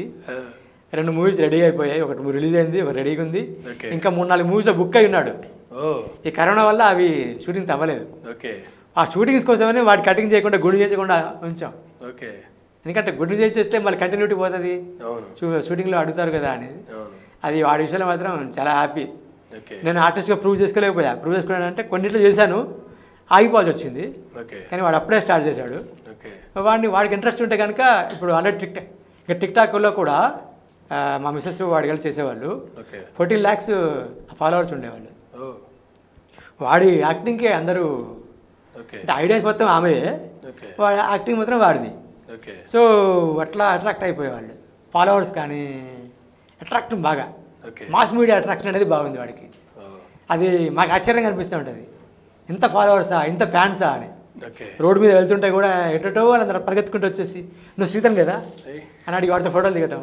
ఓకే సెల్ఫీలు తీసుకోవటం. ఓ, అరే భలే సెలబ్రిటీ అయిపోయాడు అప్పుడే వీడు. అని అనిపించేది. అది చాలా హ్యాపీ మ్యాటర్ అది. శ్రీధర్ రెడ్డి గారు ఇప్పుడు ఫ్యూచర్లో రాబోయే కొత్త ప్రోగ్రామ్స్ కూడా ఇప్పుడు ఉన్న డైరెక్షన్ టీమే కంటిన్యూ అవుతుందా? లేదంటే వేరే వాళ్ళతో ఇంకెవరైనా కొత్త వాళ్ళని జాయిన్ చేసుకొని చేసే ప్రయత్నాలు ఏమైనా చేస్తున్నారా? ఇప్పుడు ఉన్న డైరెక్షన్ టీంలో అంటే అందరికీ కూడా ఇప్పుడు ప్రస్తుతానికి నేను ప్రోగ్రామ్ చేయట్లేదు కాబట్టి ప్రాజెక్ట్ లేదు కాబట్టి అందరు కూడా ఒక్కొక్క దాంట్లో సెట్ అయిపోయారు. ఓకే. అది ఇంకా హ్యాపీగా ఉన్న మ్యాటర్ అది. ఓకే. సో రవితేజ కానీ వెంకీ కానీ సుమలత కానీ ఓకే. ఇంకా విశ్వ కానీ వీళ్ళందరూ కూడా పక్కకి వెళ్ళిపోయి వేరే ప్రోగ్రామ్స్ చేస్తున్నారు. ఓకే. అదంతా హ్యాపీ మ్యాటర్ అలాగే ఇప్పుడు నెక్స్ట్ చేయబోయేదానికి మళ్ళీ కొంతమంది తీసుకొస్తున్నా. ఓకే. వీళ్ళని కూడా ఎంటర్ చేస్తున్నా. ఓకే. అంటే మొదటి నుంచి ఒక అలవాటు ఉంది కదా. కొత్త వాళ్ళు రావడం నేర్చుకోవడం. డెవలప్ అయ్యి వేరే బెస్ట్ స్టేజ్లోకి వెళ్ళిపోతుంటే మళ్ళీ ఆ ప్లేస్లో కొత్త వాళ్ళని రీప్లేస్ చేస్తూ ఉంటారు. ఇప్పుడు ఒకటి ఏంటంటే వచ్చిన వాళ్ళు అలాగే ఉంటే ఉపయోగం లేదు కదా. అవును. ఇప్పుడు అసిస్టెంట్ డైరెక్టర్గానో అసోసియేట్ డైరెక్టర్గానో వచ్చారు. నాటి నా ప్రోగ్రామ్కి డైరెక్టర్ అవ్వరు కదా. అవును. సో బయటికి పోవడమే కరెక్ట్ అవును. నేను కూడా హ్యాపీగా బయటకు వెళ్ళమని చెప్తా. ఓకే. బయటికి వెళ్తే మంచి ఫ్యూచర్ ఉంటుంది. అంటే ఈ ప్రోగ్రామ్ చేశాను అని చెప్పడం వాళ్ళకి వాళ్ళకి ప్లస్ అవుతుంది. ఓకే ఓకే ప్రూవ్డ్ అని. ఇక్కడే ఉన్నాడు అనుకో బయటకు వెళ్ళకుండా. ఏంటి యూజు. నేర్చుకుంటా ఉంటారు నేర్చుకుంటా ఉంటారు అసిస్టెంట్ అసోసియేట్ అవుతారు. అసిస్టెంట్ కో డైరెక్టర్ అవుతారు. ఆల్రెడీ కో డైరెక్టర్ ఉండే. డైరెక్టర్ ఎవరుగా? సో మంచి ఫ్యూచర్ కావాలంటే నా దగ్గర కొన్నాళ్ళు వర్క్ చేసి. నేర్చుకొని బయటికి పోవడమే మంచిది. ఓకే పోయారు పోయారు కొంతమంది అంటారేమో నాకు అది నచ్చదు. పోవాలి. ఓకే వెళ్ళి ఇక్కడ నేర్చుకుని వెళ్ళి బయట వర్క్ చేసుకోవాలి. ఓకే సేమ్ టైం అదే ర్యాపో మెయింటైన్ చేయాలి. మనం. ఇప్పుడు నువ్వు కానీ మిగతా వాళ్ళు కానీ అందరూ వెళ్ళారు కదా అందరు నాకు అద- ర్యాపో మెయింటైన్ చేస్తున్నారుగా. ఓకే. అదే థాంక్ఫుల్గా ఉన్నారు కదా. ఓకే. ఇప్పుడు కొత్త వాళ్ళు రావాలి. కొత్త వాళ్ళు నేర్చుకోవాలి. నేను నేర్పుకుంటాను నాకు ఆ ఓపిక ఉంది. ఓకే. నేర్చుకొని వెళ్ళిపోవాలి.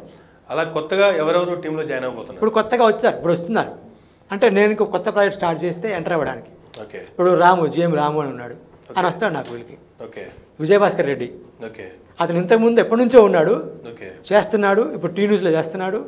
చేసుకుంటూ కూడా మళ్ళీ కొత్త ప్రాజెక్ట్ కూడా చేయడానికి రెడీగా ఉన్నాడు. అంటే పార్ట్ టైం లాగా ఫుల్ టైం కాదు. సో ఆయన చేస్తలా చేయడం ఆయన తర్వాత సంగతి. ఆయన జాబ్ ఉంది కాబట్టి చేస్తలా చేయడం తర్వాత సంగతి. వస్తే బాగుండని నేను కోరుకుంటున్నా. అది ఆయన ఇష్టం. అసలు జగన్ అని ఒక అబ్బాయి ఉన్నాడు. ఆయన కూడా వెయిటింగ్లో ఉన్నాడు. సార్ నాకు నాకు ఛాన్స్ ఇవ్వండి సార్ అని. అలాగే ఇద్దరు ముగ్గురు అమ్మాయిలు ఉన్నారు. సార్ నాకు ఛాన్స్ ఇవ్వండి నేను వస్తాను అని. సో వీళ్ళందరూ రెడీగా ఉన్నారు. కొత్త టీం ఫామ్ అవుతుంది. ప్రాజెక్ట్ వస్తే కొత్త టీం ఫామ్. దీంట్లో ఆల్రెడీ చేసిన వాళ్ళు ఒకరు ఇద్దరు వస్తారు కొత్త వాళ్ళు ఇద్దరు వస్తారు ఇద్దరు వస్తారు రెండు బ్యాలెన్స్ చేస్తా. అంత కొత్త వాళ్ళైనా కూడా నాకు బడిన అవుద్ది అంత పాత వాళ్ళని కూడా అవసరం లేదు. సో ఒక ఇద్దరు పాత వాళ్ళు ఒక నలుగురు కొత్త వాళ్ళు. మొత్తం బ్యాలెన్స్ చేసి చేయబోతున్నా. రెండు మూడు పేర్లు రివీల్ చేశాను. వాళ్ళు వచ్చిన తర్వాత కన్ఫామ్గా వచ్చిన తర్వాత నెక్స్ట్ అవి కూడా అన్నీ కూడా బయటకు వస్తాయి థ్యాంక్ యూ శ్రీధర్ రెడ్డి గారు. చాలా మంచి విషయాలు చెప్పారు. డైరెక్షన్ డిపార్ట్మెంట్కి సంబంధించి కావచ్చు పర్సనల్ లైఫ్కి సంబంధించి కావచ్చు చాలా విషయాలు మాతో షేర్ షేర్ చేసుకున్నారు. అలాగే మీ ఇప్పటికీ మీరు ఆల్రెడీ ఒక మంచి సక్సెస్ఫుల్ డైరెక్టర్గా ప్రూవ్ చేసుకున్నారు. ఇంకా అనేక మంచి మంచి పెద్ద పెద్ద ప్రాజెక్ట్స్తో ఇంకా మంచి డైరెక్టర్గా ప్రూవ్ చేసుకోవాలని కూడా కోరుకుంటున్నాము. Thank you. థ్యాంక్ యూ అండి. Thank you very much.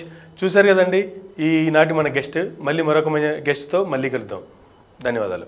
Please do subscribe Myra Media. Please subscribe Myra Media. Subscribe to Myra Media. Please like, share, and subscribe to Myra Media for a lot of film news, gossips, and hot hot news. Please like, share, and subscribe to Myra Media. For more interesting updates, please subscribe to Myra Media YouTube channel. For more updates, please subscribe to Myra Media. So like, share and subscribe to Myra Media.